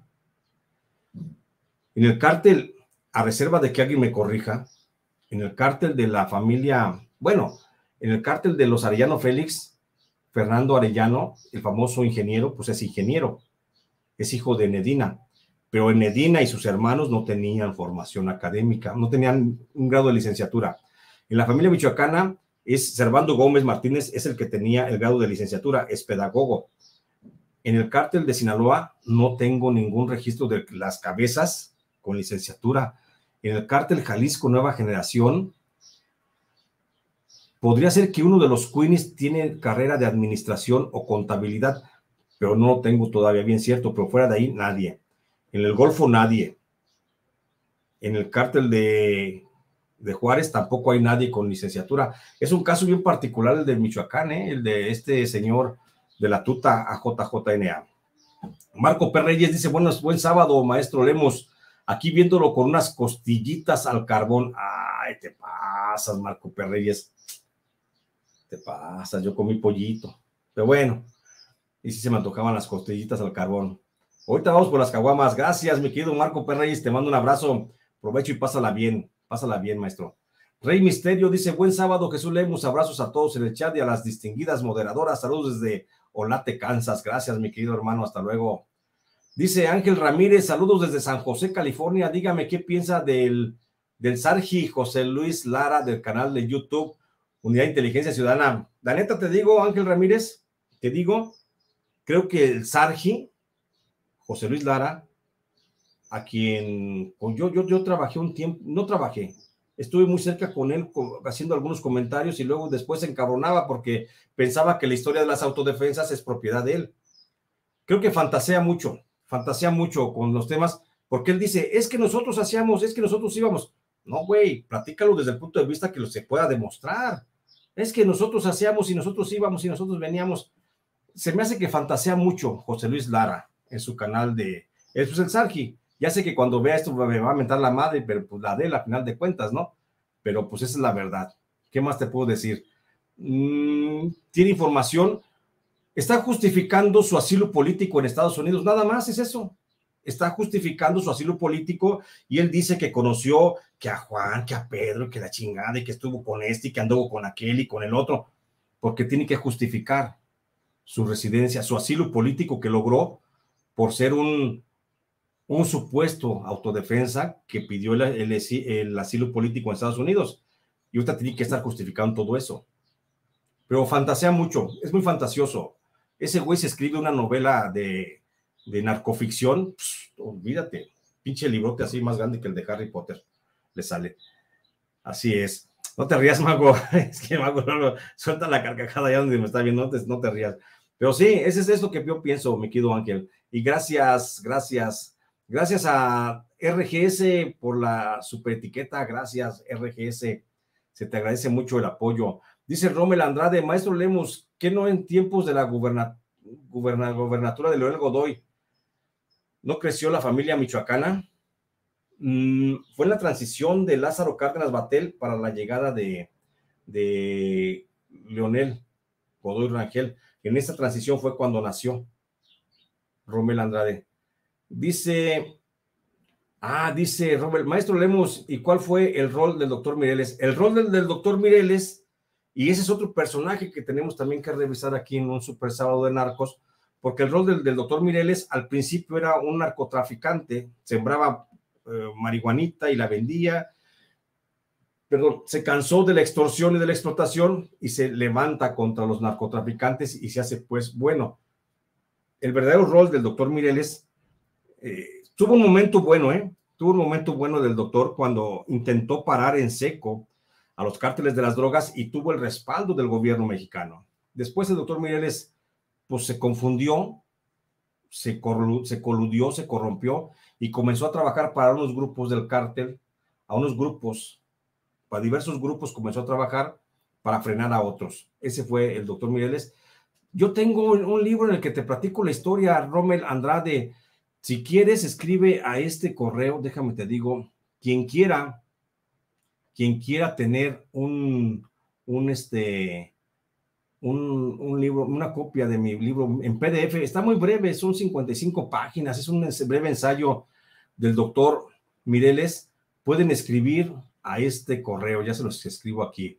Escriban aquí a pesmargot14 arroba gmail.com. Escríbale, mi querida Margarita Rodríguez Guerrero les hará llegar con muchísimo gusto una copia, un PDF de mi libro Mireles el Rebelde.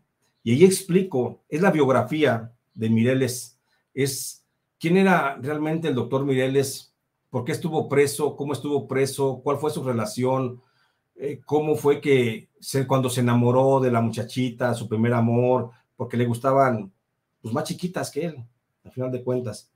Este, ahí está la historia. Escríbame, escríbame pesmargot14gmail.com y ahí les, les regalo ese, ese libro, mi querido, ah, querido amigo. Ahí, ahí, está, pesmargot14 y Mago con mucho gusto nos va a hacer el favor de mandarles una, un PDF de mi libro Mireles el Rebelde, libre de todo derecho gratuitamente, por supuesto, para que lean y para que conozcan la historia del doctor Mireles. Allí está, escríbale a pesmargot14gmail.com. Y ¿dónde me quedé? ¿Dónde me queda? ¿Dónde me quedé? Ah, me quedé acá. ¿Y dónde está? Rommel, ahí Rommel, ahí mero, ahí mero, este, escríbele para que te manden eso y te das cuenta de quién es el doctor Mireles. Anaí Castellana, que le mando un abrazo con mucho cariño, dice, maestro, desde Ayoxiapan, tierra de Tecuani, eh, de del Tecuán, llevando clases de ballet hasta las canchas más alejadas a falta de casas de cultura, escuchando al más chingón de los periodistas. Se le admira, dos chingos. Gracias, mi querida Anaid Castellán, te mando un abrazo con mucho, mucho, mucho, mucho cariño. A ti y a tu esposo, por supuesto. Anaid Castellán, una promotora de la cultura incansable. Y como ella dice, llevando clases de ballet, llevando clases de teatro, llevando clases de expresión artística a diversas partes del estado de Morelos por puro amor al arte, porque necesita y porque sabe que la cultura es lo que nos puede salvar de esta pinche crisis que, existencial que tenemos. Gracias, Anaí Castellán, te mando un abrazo con muchísimo cariño. Dice OR, disculpe, Master, sé que no tiene nada que ver, pero es verdad que un día Osiel Cárdenas llamó por teléfono desde el penal de La Palma a un noticiero matutino de Televisa, y no nomás a un matutino de Televisa, le habló a, a Lores de Mola, sí es cierto, a Lores de Mola, desde La Palma, y no nomás a ese, mi querido OR, también le hablaba a El Excelsior y a Reforma. Yo conozco periodistas que hablaban con Ociel desde La Palma, y él hablaba por teléfono para darles datos importantes. Y sí es cierto ese dato. Gracias, OR. Indio Mogollón dice, lo felicito, don Chuyito, por haber cambiado el fondo del escenario. Ah, no, es que, bueno, ya te voy a contar la historia. Ahorita quité la, es que quito la carpa y la pongo, porque ahorita ya terminé de hacer unos podcasts, pues ya voy a comenzar a hacer podcast a partir del lunes, lunes o martes, y voy a tener que ponerlo, pero ya, ya quité el fondo del escenario, y ya lo voy, ya no lo voy a dejar ese fondo, porque sí me han dicho que es lo sienten demasiado agresivo tener aquí la cara de un cabrón, la cara de otro y de otro y de otro. Gracias, gracias, Indio Mogollón, gracias. Ahí andamos. Marcela Reynoso Vélez, señor Lemus, ¿cuál fue el papel de las autodefensas? ¿De verdad defendían al pueblo? Inicialmente sí, mi querida Marcela Reynoso, inicialmente las autodefensas sí trataron de defender al pueblo, pero luego se corrompieron y la corrupción vino en el primer año de trabajo de las autodefensas. Y hoy tenemos muchos grupos de autodefensa que están ligados con el narcotráfico. Gracias, dice Margarita, y siguen con esa falacia de la falta de educación como la causa de la violencia y terror a comunidades del país para encubrir las complicidades Sedena gobierno estatal, organizaciones criminales. Gracias, Mago, claro que sí. Dice mi querida maestra Marielena Torres Ramírez, saludos mi querido maestro Jesús Lemus y moderadoras, presente como siempre escuchando su magnífico periodismo. Un fuerte abrazo. Gracias Marielena Torres. Un abrazo. La maestra Mariana Torres, si no la han leído, búsquenla. Búsquenla en el Face. Está así como Mariana Torres Ramírez. Búsquenla en el Face. Tiene unos librazos. Le gusta la poesía. Ella escribe poesía. Ah, pero, pero poesía, poesía. Señora poesía. Se lo recomiendo. Lean a Marielena Torres Ramírez. Búsquenla en el Face. Está así como Marielena Torres Ramírez. Y van a ver que los librazos que tiene. Dice Margarita, y si uno va a esas comunidades, se observa ese desarrollo social, se, se observa ese desarrollo social es puro mito. No, si hay desarrollo social en las comunidades por parte del narco, lamentablemente, mago.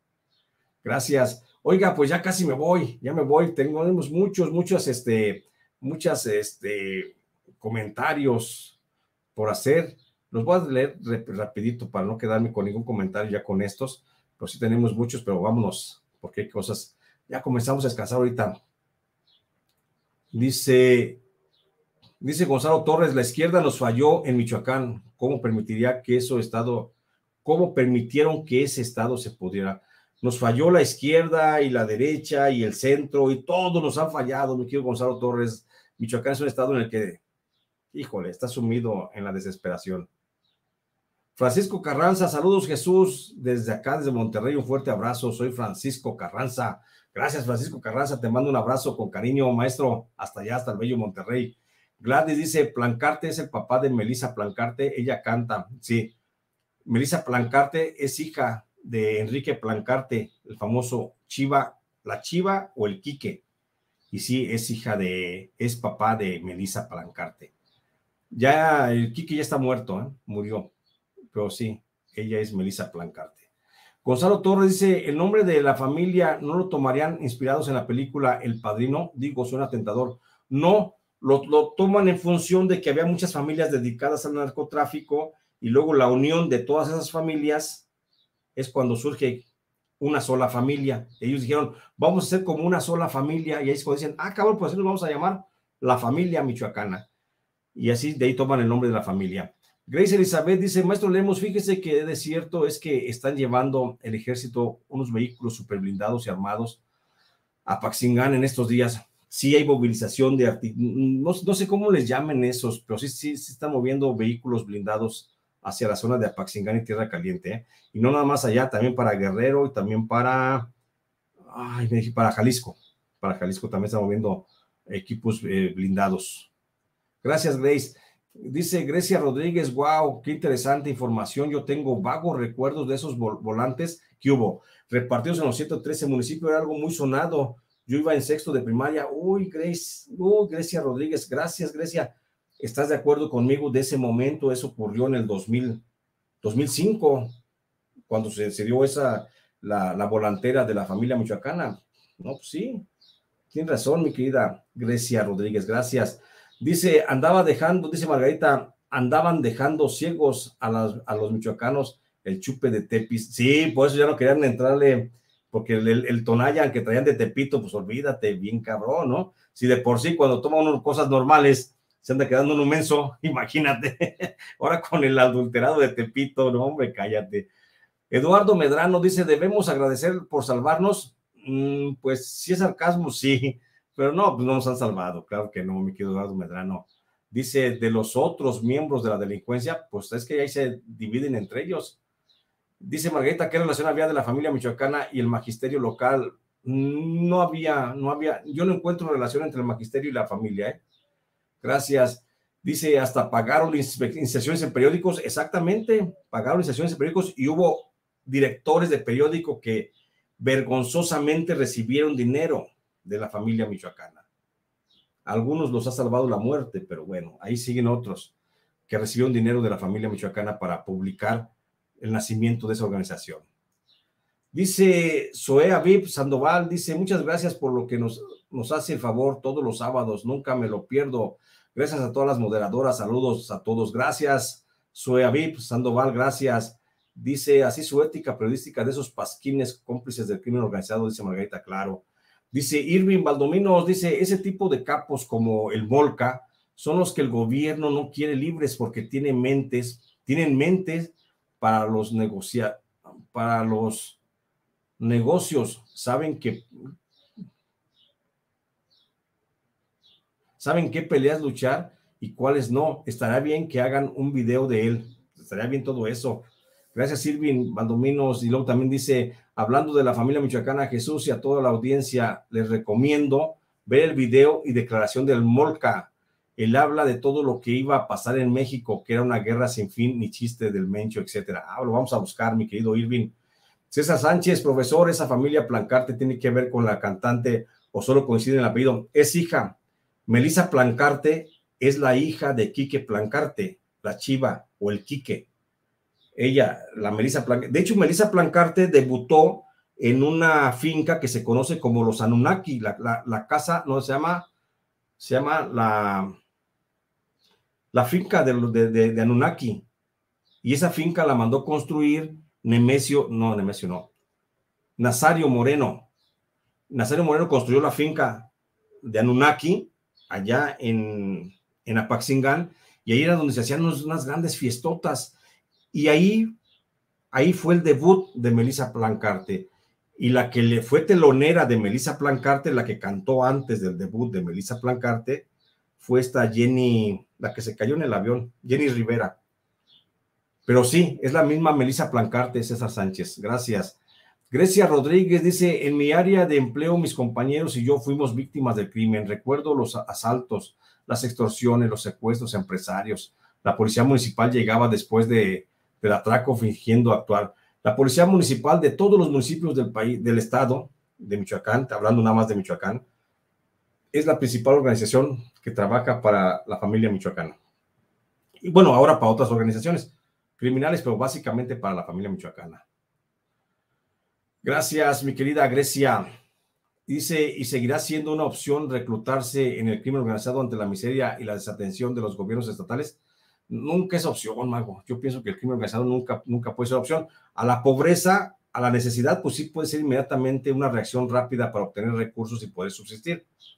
Pero así como opción, no, no. Pero sí está bien cabrón, ¿eh? Está bien cabrón. Juan Hernández Garza dice, así como se ataca a la Suprema Corte de Justicia, se atacará, se atacará al crimen organizado, no hubiera tanta delincuencia organizada en el país. Fíjate que tiene razón Juan Hernández Garza, tiene razón, ojalá pusiera más atención en ello el gobierno federal. Alejandra Bravo dice, con razón la gente prefirió a los narcos, los trataban como se supone que el pinche gobierno debería de tratarnos. Exactamente, exactamente, Alejandra Bravo. Humberto Alonso Molina dice, Cárdenas Batel, por omisión o complicidad, fue el que inició por el cagadero que hasta la fecha tiene a Michoacán sumido en una espiral de violencia sin fin y tiene cinismo de seguir en la política. Pues sí, mi querido don Humberto Alfonso Molina, es cierto lo que usted dice, totalmente de acuerdo con usted. Silvia Leticia Moreno Abarca dice, ya aporte, ya aporte a Coppel, así que salúdame, ya aporté a Coppel, así que salúdame, señor Lemos, saludos, un fuerte abrazo. Mi querida Silvia Leticia Moreno Abarca, siempre, siempre que escribas te voy a saludar y siempre que vea, pues, por supuesto, te voy a saludar, no importa que aportes o que no aportes. Gracias de todas formas por tu aporte a Coppel. Gracias, gracias, mi querida este, Silvia Leticia Moreno, gracias. Te quiero mucho, te mando un abrazo y mi agradecimiento, ¿eh? Siempre. Eva Hernández, gracias por su super etiqueta también. Dice, ¿en dónde escribiste esta chingonería? Me pregunta Margarita. Lo escribí en Tierra sin Dios, mi querida Mago. Está en Tierra sin Dios. Héctor López Osuna, buena crónica y sin beber agua, Julián. Ese sí, sin beber agua, mi querido Héctor López Osuna. Una pinche caguama, ahorita lo que me está esperando es lo que voy a hacer. Julián Falcón dice, hola a todas las moderadoras. Gracias, Julián. Dice Mike Caseta, dice Lemus, don Cirilo es de Tepic, dile que se coma la costilla. ¿Quién es de don? A ver, don, don Cirilo es de Tepic, dile que se coma la costilla, le da risa. Pues no sé, Mick. El que está ahorita pues asando las, las, las este, costillitas, pues adelante, ¿no? No sabía que fuera de Tepic. Gracias, gracias, Mick Caseta, gracias. Eva Hernández, Dice, gracias maestro por su arduo trabajo. Ayer lo escuché y me dio mucho gusto verlo.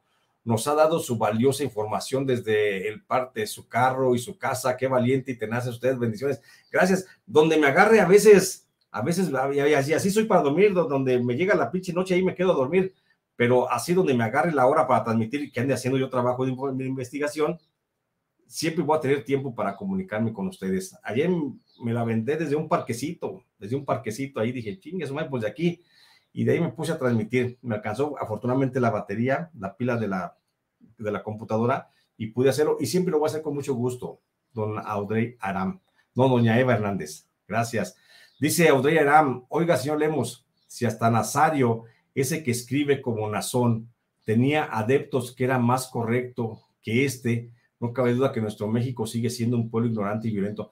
Ese es el problema, Audrey Fíjese que México, está, eh, el pueblo de México en términos generales, somos tan ignorantes que seguimos a cualquiera que, que nos hable de Dios y que diga, es que yo vengo a hablar en el nombre de Dios y hay gente que lo va a seguir y ahí van, ahí van atrás de un cabrón. Mucha ignorancia para seguir a un güey que habla en nombre de Dios cuando yo puedo hablar directamente con Dios. Digo, me ha de entender. Gracias, Audrey. Dice Daniel Sámano, Jesús Lemus, maestro Lemus, ¿qué tanta penetración tiene la familia en el estado de Guanajuato y en la Procuraduría de Guanajuato?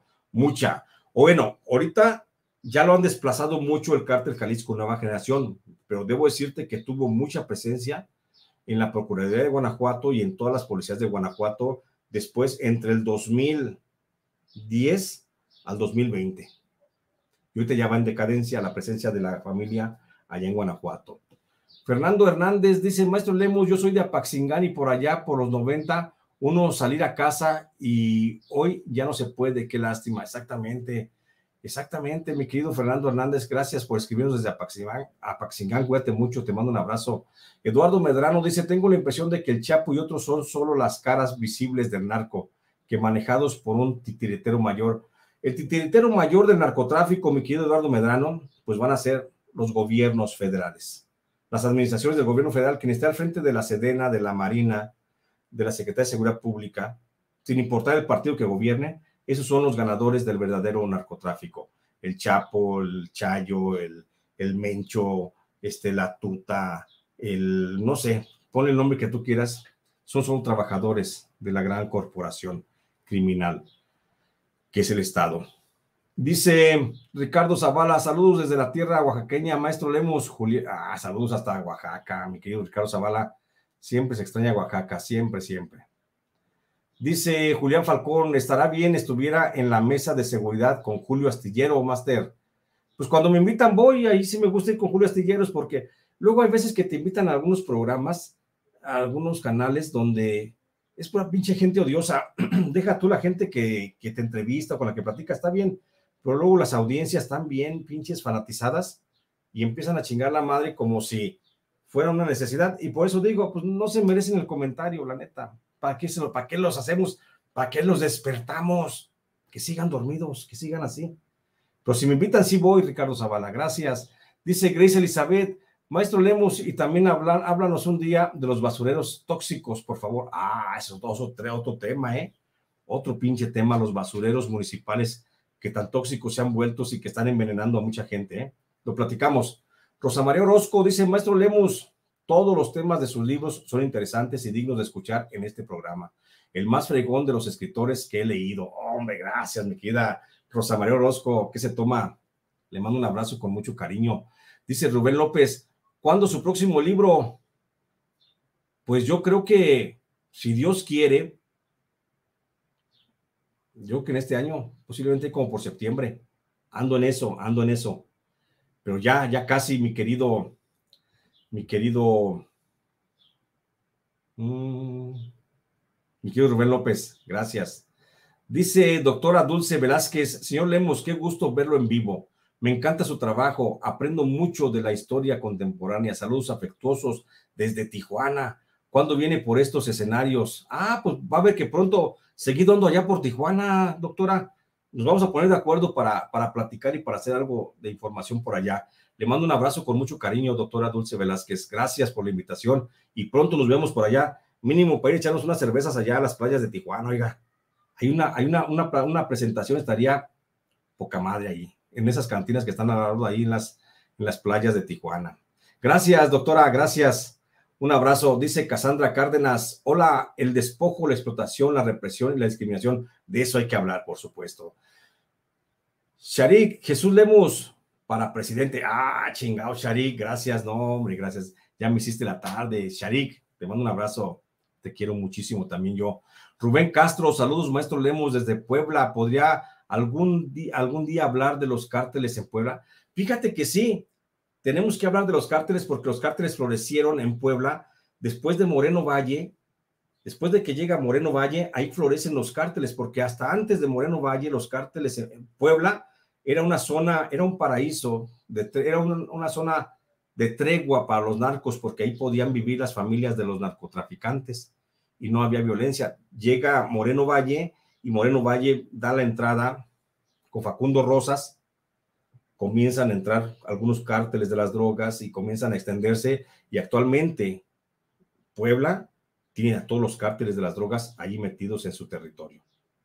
Gracias, mi querido Rubén Castro, te mando un abrazo. Hilario Teatle dice, a ver cuándo cuenta el capo de Cochiloco. el, capo cochiloco jalapeño. Ah, no, el, cochiloco nada más. A ver cuándo cuenta el capo de capo cochiloco. Ya lo programo, mi querido Hilario Tetatle. Gracias, muchas gracias, Jalapeño. Gracias por la super etiqueta también, te agradezco muchísimo. Mucho, sirve de mucho, ¿eh? Mucho. Dice Helena Razola, buenas tardes, señor Lemos. ¿Quién era el Marco? El narco será que tenía una hija cantante y vivía en el Palacio de Gobierno michoacano. Pues era Kiki, Kiki Plancarte, Enrique Plancarte, el que tenía su hija cantante, que es Melissa Plancarte. Y no vivía en el Palacio de Michoacán, en el Palacio de Gobierno de Michoacán te confundes con la, la fincota, la fincona que hizo Nazario Moreno, que era la, fortaleza de Anunnaki, fortaleza de Anunnaki, así se llama. Gracias. Julián Falcón dice, Máster, en la mesa de Julio, Máster en la mesa de Julio, Ricardo Ravelo, Víctor Ronquillo y Guadalupe Correa se dieron hasta con la cubeta, porque Ravelo dice tener fuentes que AMLO pactó con el narco de gente cercana a AMLO. Fíjate que yo le creo mucho a, Ricardo Ravelo.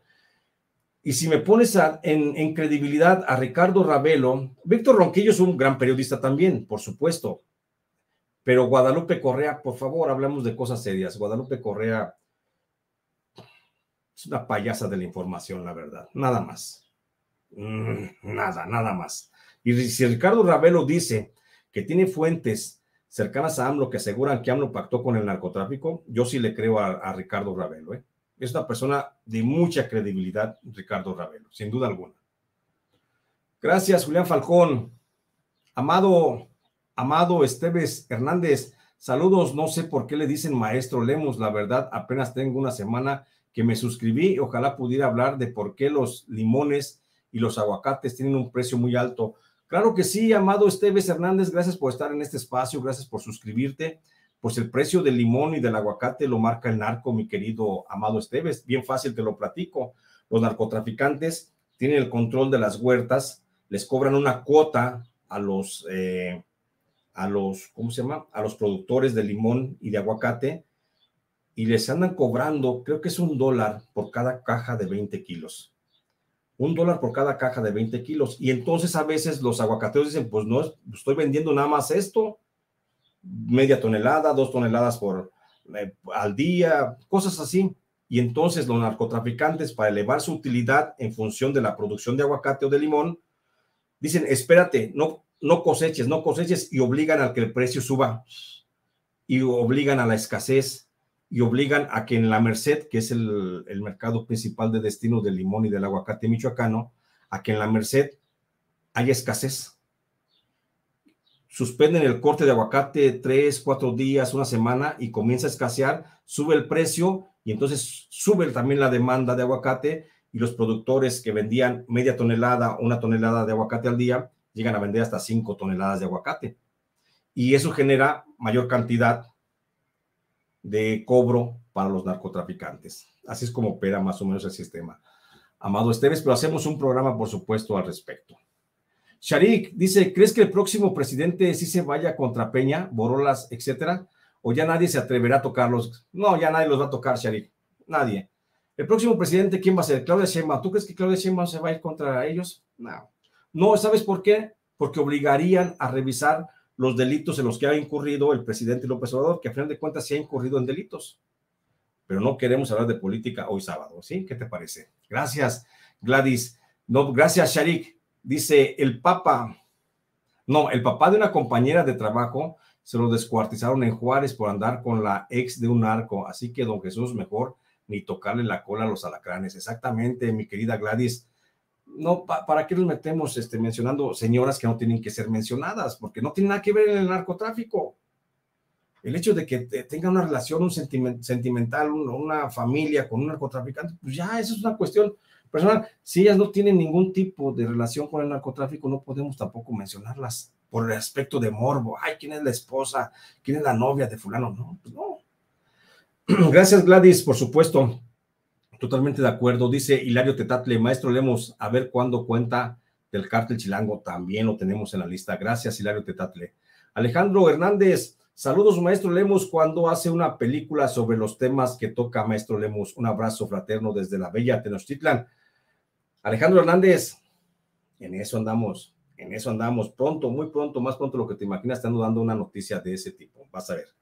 Gracias. Mati López dice: Saludos, señor Lemos. Pregunto: ¿Lázaro Cárdenas Batel o Cuauhtémoc Cárdenas Batel? No, Lázaro Cárdenas Batel. Cuauhtémoc Cárdenas Batel, el hermano de Lázaro, no tiene nada que ver en la política. Es un muchacho, creo que dedicado a otras cosas, a las artes, no sé qué hace. Pero hablo de Lázaro Cárdenas Batel, no de Cuauhtémoc Cárdenas Batel, ni de su padre Cuauhtémoc Cárdenas Solórzano, de Lázaro Cárdenas Batel.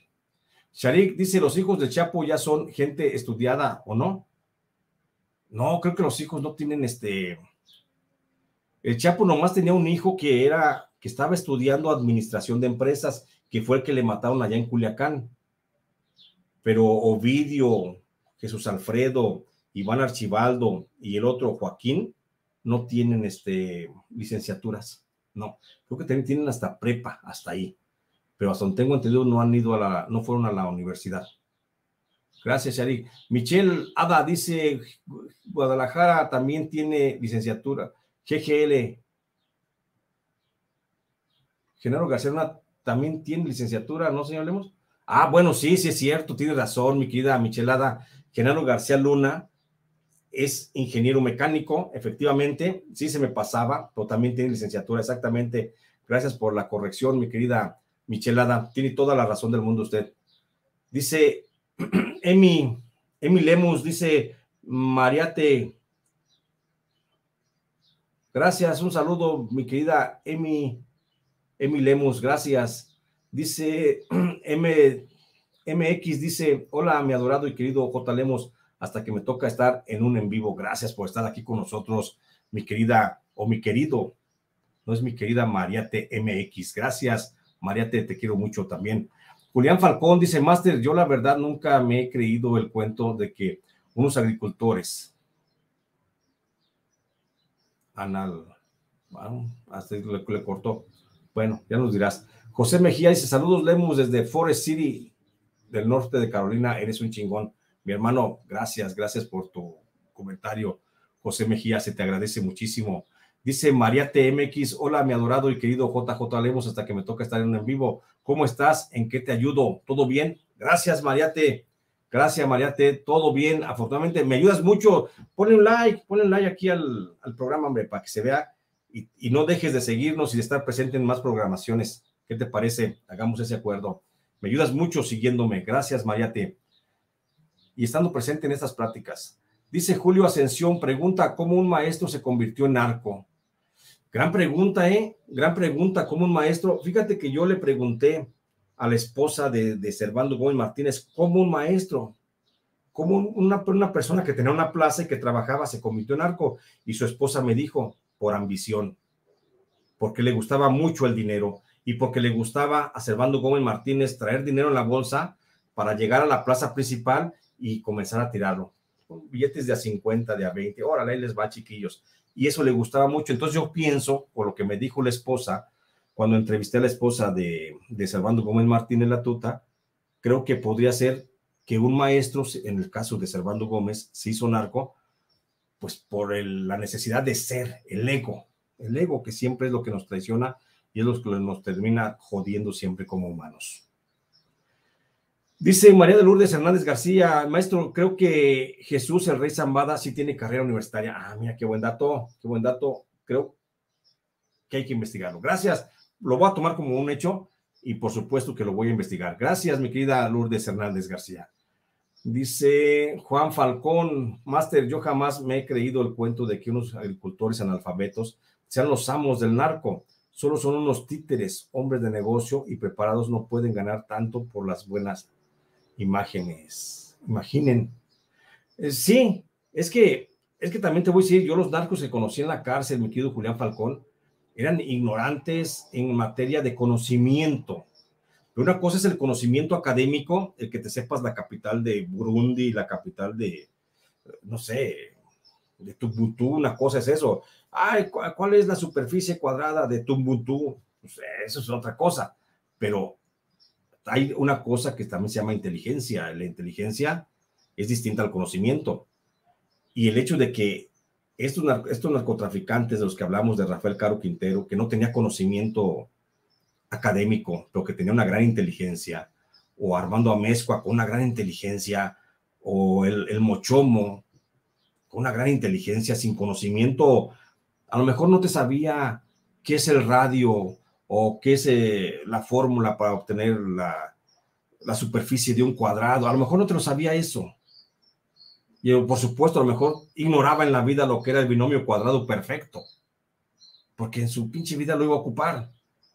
Y a lo mejor muchos hemos ocupado esos conocimientos como para distraernos para otras cosas, pero una cosa es el conocimiento académico, técnico o científico, y otra cosa es la inteligencia.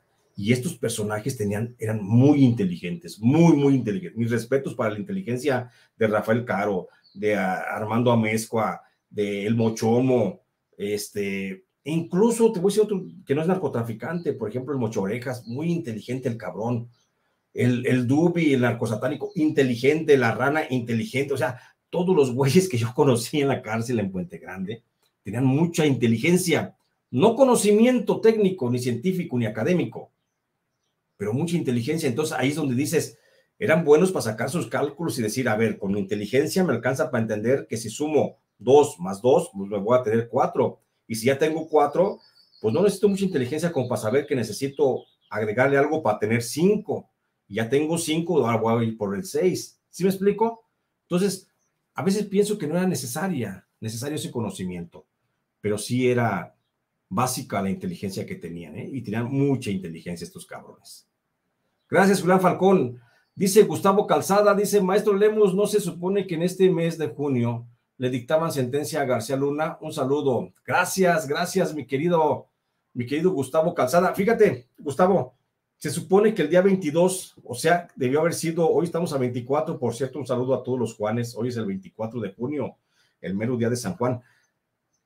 El día 22, que fue 24, 23, 22, el pasado jueves, debió haber sido la sentencia de García Luna. Pero acuérdate que desde hace 22 días el juez dijo, vamos a posponer la fecha de la sentencia de García Luna y pospusieron la fecha del 22 de, del 22 de junio para el 22 de septiembre.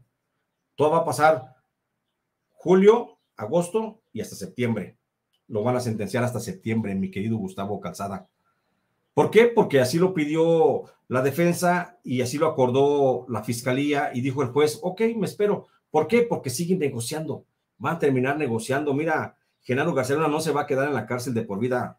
No le van a dar, le van a dar una sentencia de 20 años.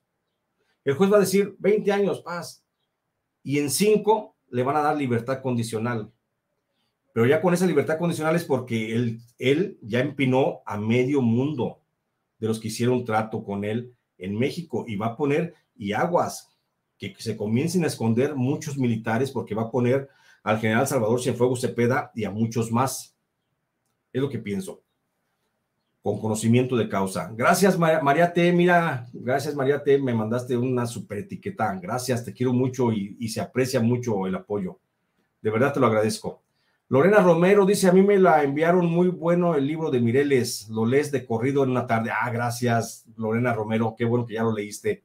Si lo quieres, si una vez que ya lo, ya lo tienen, quienes leyeron a Mireles el Rebelde, y si ya lo tienen, lo pueden divulgar, difundir entre sus amigos, no pasa nada, es un PDF más, es un libro que yo quise regalar, quise este, entregárselo a la gente como una muestra de agradecimiento también por el seguimiento de muchos de ustedes, y ahí está para que lo lean, ¿sí? Si lo pueden regalar, regálenlo, gracias. Dice María T., con todo respeto y cariño, Jesús Lemos, gracias. No, pues claro, igualmente con todo respeto y cariño te mando un fuerte abrazo, querida María T. Rendón, Rendón, gracias también por la super etiqueta. Dice, eh, gracias, gracias, Jul, eh, Rendón, Rendón. Te quiero mucho, carnal. Gracias. Dice Julio Ascensión, hable de las aduanas, quién es dueño de ellas. Ahora el ejército la regentea, hable de eso. Lo investigo y lo, y lo hacemos, claro que sí, gracias. Rendón Rendón dice, es un verdadero placer apoyar este canal, Jesús, es mi brother. Ah, gracias, mi querido Rendón Rendón. De veras te quiero mucho, carnal, gracias. Dice Rayo McQueen, Lemus, ya déjame dormir. Un abrazote, excelente fin de semana para todos. Ya, vámonos a la chingada. Ya dice, dice el Rayo McQueen que ya lo deje dormir, que porque ya se enfadó de la plática. Ya más termino estos, Rayito. Ya, ya, cabrón, ya más termino estos y ya nos vamos a dormir. ¿Qué te parece? No, ¿cuál dormir? Vamos con una pinche caguamota bien fría. Dice, ya termino con ya. Me faltan ya bien poquitos para terminar de leer. Tres mensajes y ya. Eduardo Medrano dice del, del combate a la delincuencia, el principal beneficiario es el fabricante de armas, claro. Y lo hemos dicho, ¿eh? Y gracias, Eduardo Medrano, por considerarlo. Sharik dice, si el próximo gobierno te invita para asesorar en temas de seguridad, ¿lo aceptarías? Por supuesto que sí. Sería sin, sin costo, por supuesto, y sin cargo al erario. Pero creo que hay gente que sabe más de temas de seguridad, Sharik. Yo lo haría con mucho gusto a quien me pidiera conocimiento de lo que yo he hecho en mi trabajo periodístico y que sirviera para políticas públicas, lo haría con muchísimo gusto. Pero a lo mejor ellos quieren más bien que les cromen el sable y todas esas cosas y pues ese no es mi jale, yo a eso sí no le hago. Pero gracias, por supuesto que sí, Sharik. Rosario Villegas dice, maestro, ¿qué papel jugó Alfredo Castillo Michoacán? El pervertidor principal de todo, Rosario Villegas. Alfredo Castillo fue el primer corruptor, fue el que echó a perder los grupos de autodefensa, fue el que vendió y metió a la cárcel a muchos, a muchos autodefensas, fue el que negoció con el narcotráfico, fue el que se hizo inmensamente rico y fue el que se quedó con muchas minas. Alfredo Castillo Cervantes se quedó con minas en el estado de Michoacán. Ojo, ahí, ojo. Pero es un bandido, Alfredo Castillo Cervantes, por supuesto. Gracias, Rosario Villegas. Dice Arbar, don Jesús, un saludo desde la Bella Reynosa. Me encantaría, me encantan sus reportajes y sus relatos. Un abrazo sincero. Gracias, mi querido hermano Arbar. Te abrazo con cariño. Gracias por seguir estas transmisiones y gracias por leerme. Escribo para ustedes, mi querido Arbar, y trabajo para ustedes. Gracias. Audrey Aram dice chingao y a mí ya muchos no me saluda. Ya muchos no me saluda. ¿Cómo no, Audrey? Te acabo de saludar, pues, solamente que te has quedado dormida y volviste a despertar y pensabas que estabas viendo otro canal, pero sigues, sigues en el mismo. No, sí te saludé ya, chécale y verás, ya te saludé y, no me dejan mentir Margarita y la maestra Ina y las moderadoras, ya te saludé, pero de todas formas te mando un saludo. Un saludo con mucho cariño, Audrey, Aram, Airam. Pero ya te saludé, lo que pasa es que te dormiste, te quedaste dormida o fuiste al baño a lo mejor, no sé, pero ya te había saludado, pero otra vez te saludo. Gracias, dice Lucía Rodríguez Hernández. No cabe duda que los rumores llevan algo de verdad, pues en su tiempo cuando se decía que Felipe era jefe de la familia michoacana, y sí es, ¿eh? Y sí fue, estuvo relacionado con la familia michoacana. Gracias, Lucía. Dice Patricia Barrón, ah, ya, ya con esos mensajes. Dice Patricia Barrón, Jesús Lemos, no digas a dónde vas a estar, me da miedo por ti. Tienes razón. Tú hablas de todas las porquerías y pisas muchos callos, cuídate por favor. Pocas personas como tú, me encanta tu programa. Gracias, Patricia Barrón. Tienes razón, por eso a veces ando con más discreción. Te abrazo con cariño, Pati. Gracias. Dice doctora Dulce Velázquez, dice, tenemos destruida la playa incluso hasta zona de California. Es todo un tema de intereses y corrupción. Las chelas mejor en la zona río donde el agua corre. Yo invito, ya está. No se hable más, doctora. En la zona río donde el agua corre. Vámonos, Recio. Y sí, hay que hacer un reportaje de ese, de ese, de ese tema, doctora de la, de la destrucción y la entrega del territorio ahí en, en Tijuana, híjole, que sí está bien caramba, ¿eh? Gracias, gracias, doctora. Y ya estamos emplazados a la zona río, ¿va? Ahí donde el agua corre. Gracias, gracias. Un abrazo con mucho cariño, Dulce Velázquez, gracias. Dice Omar Marín, el señor Lemus es un maestro del periodismo. Gracias, hombre, Omar Marín, te abrazo con cariño. Rayo McQueen dice, invita a Ravelo. Sí lo voy a invitar a Ravelo. Sí lo voy a invitar. En esta misma semana, te lo prometo, Rayo McQueen. Te lo juro. Y dice Rebeca, dice Margarita, ya está aquí. Dice. ¿Sí Mago? Ya está aquí, dice, ya está aquí. De Rebeca Ruiz Millán, ya con esto termino, dice, Maestro Lemus, en Michoacán hay otros grupos organizados que tratan de luchar de otra manera, como la organización comunitaria, y también se autodefienden, no todos son parte de la delincuencia. Ah, no, sí, por supuesto, por supuesto, Rebeca Ruiz Millán, Estamos hablando de los grupos originarios, de los pueblos indígenas que tienen una resistencia con base en sus usos y costumbres y de autodefensa. Me queda claro, por supuesto, eso es muy cierto. Y tienes toda la razón, no todo es narcotráfico y violencia, no todo es corrupción, también hay pueblos indígenas que están organizando. Gracias, gracias, dice, gracias a Rocío Alcalá por la superetiqueta, te lo agradezco Rocío, dice, hoy es sábado y el pinche calor lo sabe, hay palachelas para el calor, como siempre aquí presente, maestro. Gracias, mi querida Rocío Alcalá, te quiero mucho también, gracias. Javi Fleurs, Buenas tardes, maestro Lemus. Ya estoy leyendo otro de sus libros, El agua a la vida. Te va a encantar ese pinche libro, mi querido Javi Fleurs. Te va a encantar porque la historia de Nautla, esa historia de Nautla es una historia, las, son, creo que son siete páginas con las que comienzo el, el agua o la vida, pero esa historia de Nautla la desarrollé en una crónica más grande y es, mi, es uno de los libros que voy a publicar este mismo año. Gracias, Javi Fleurs. Ojalá te guste.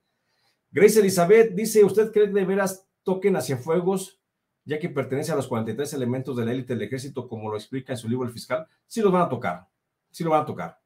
Vas a ver que de mí te acuerdas, Grace Elizabeth.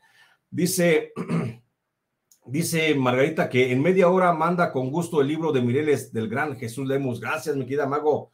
Gracias. Y termino con Rayo McQueen que dice, chinga, Lemos, tú siempre regalando tu trabajo.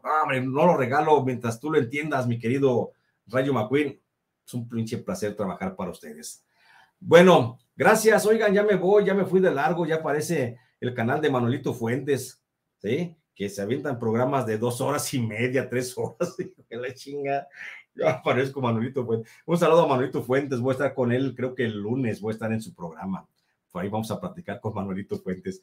Pero muchas gracias por haber estado conmigo esta tarde y les agradezco muchísimo el que me hayan aguantado dos horas, diez minutos de estar hablando razón ya se me secó la garganta y por eso tenemos que ir por unas, unas kiguas. Bueno, gracias, buenas tardes, les agradezco mucho. Gracias, Ina, gracias, Margarita, gracias, Michelle, gracias Adriana, gracias también a doña María Rojas Hernández. Doña María, le mando un abrazo con cariño.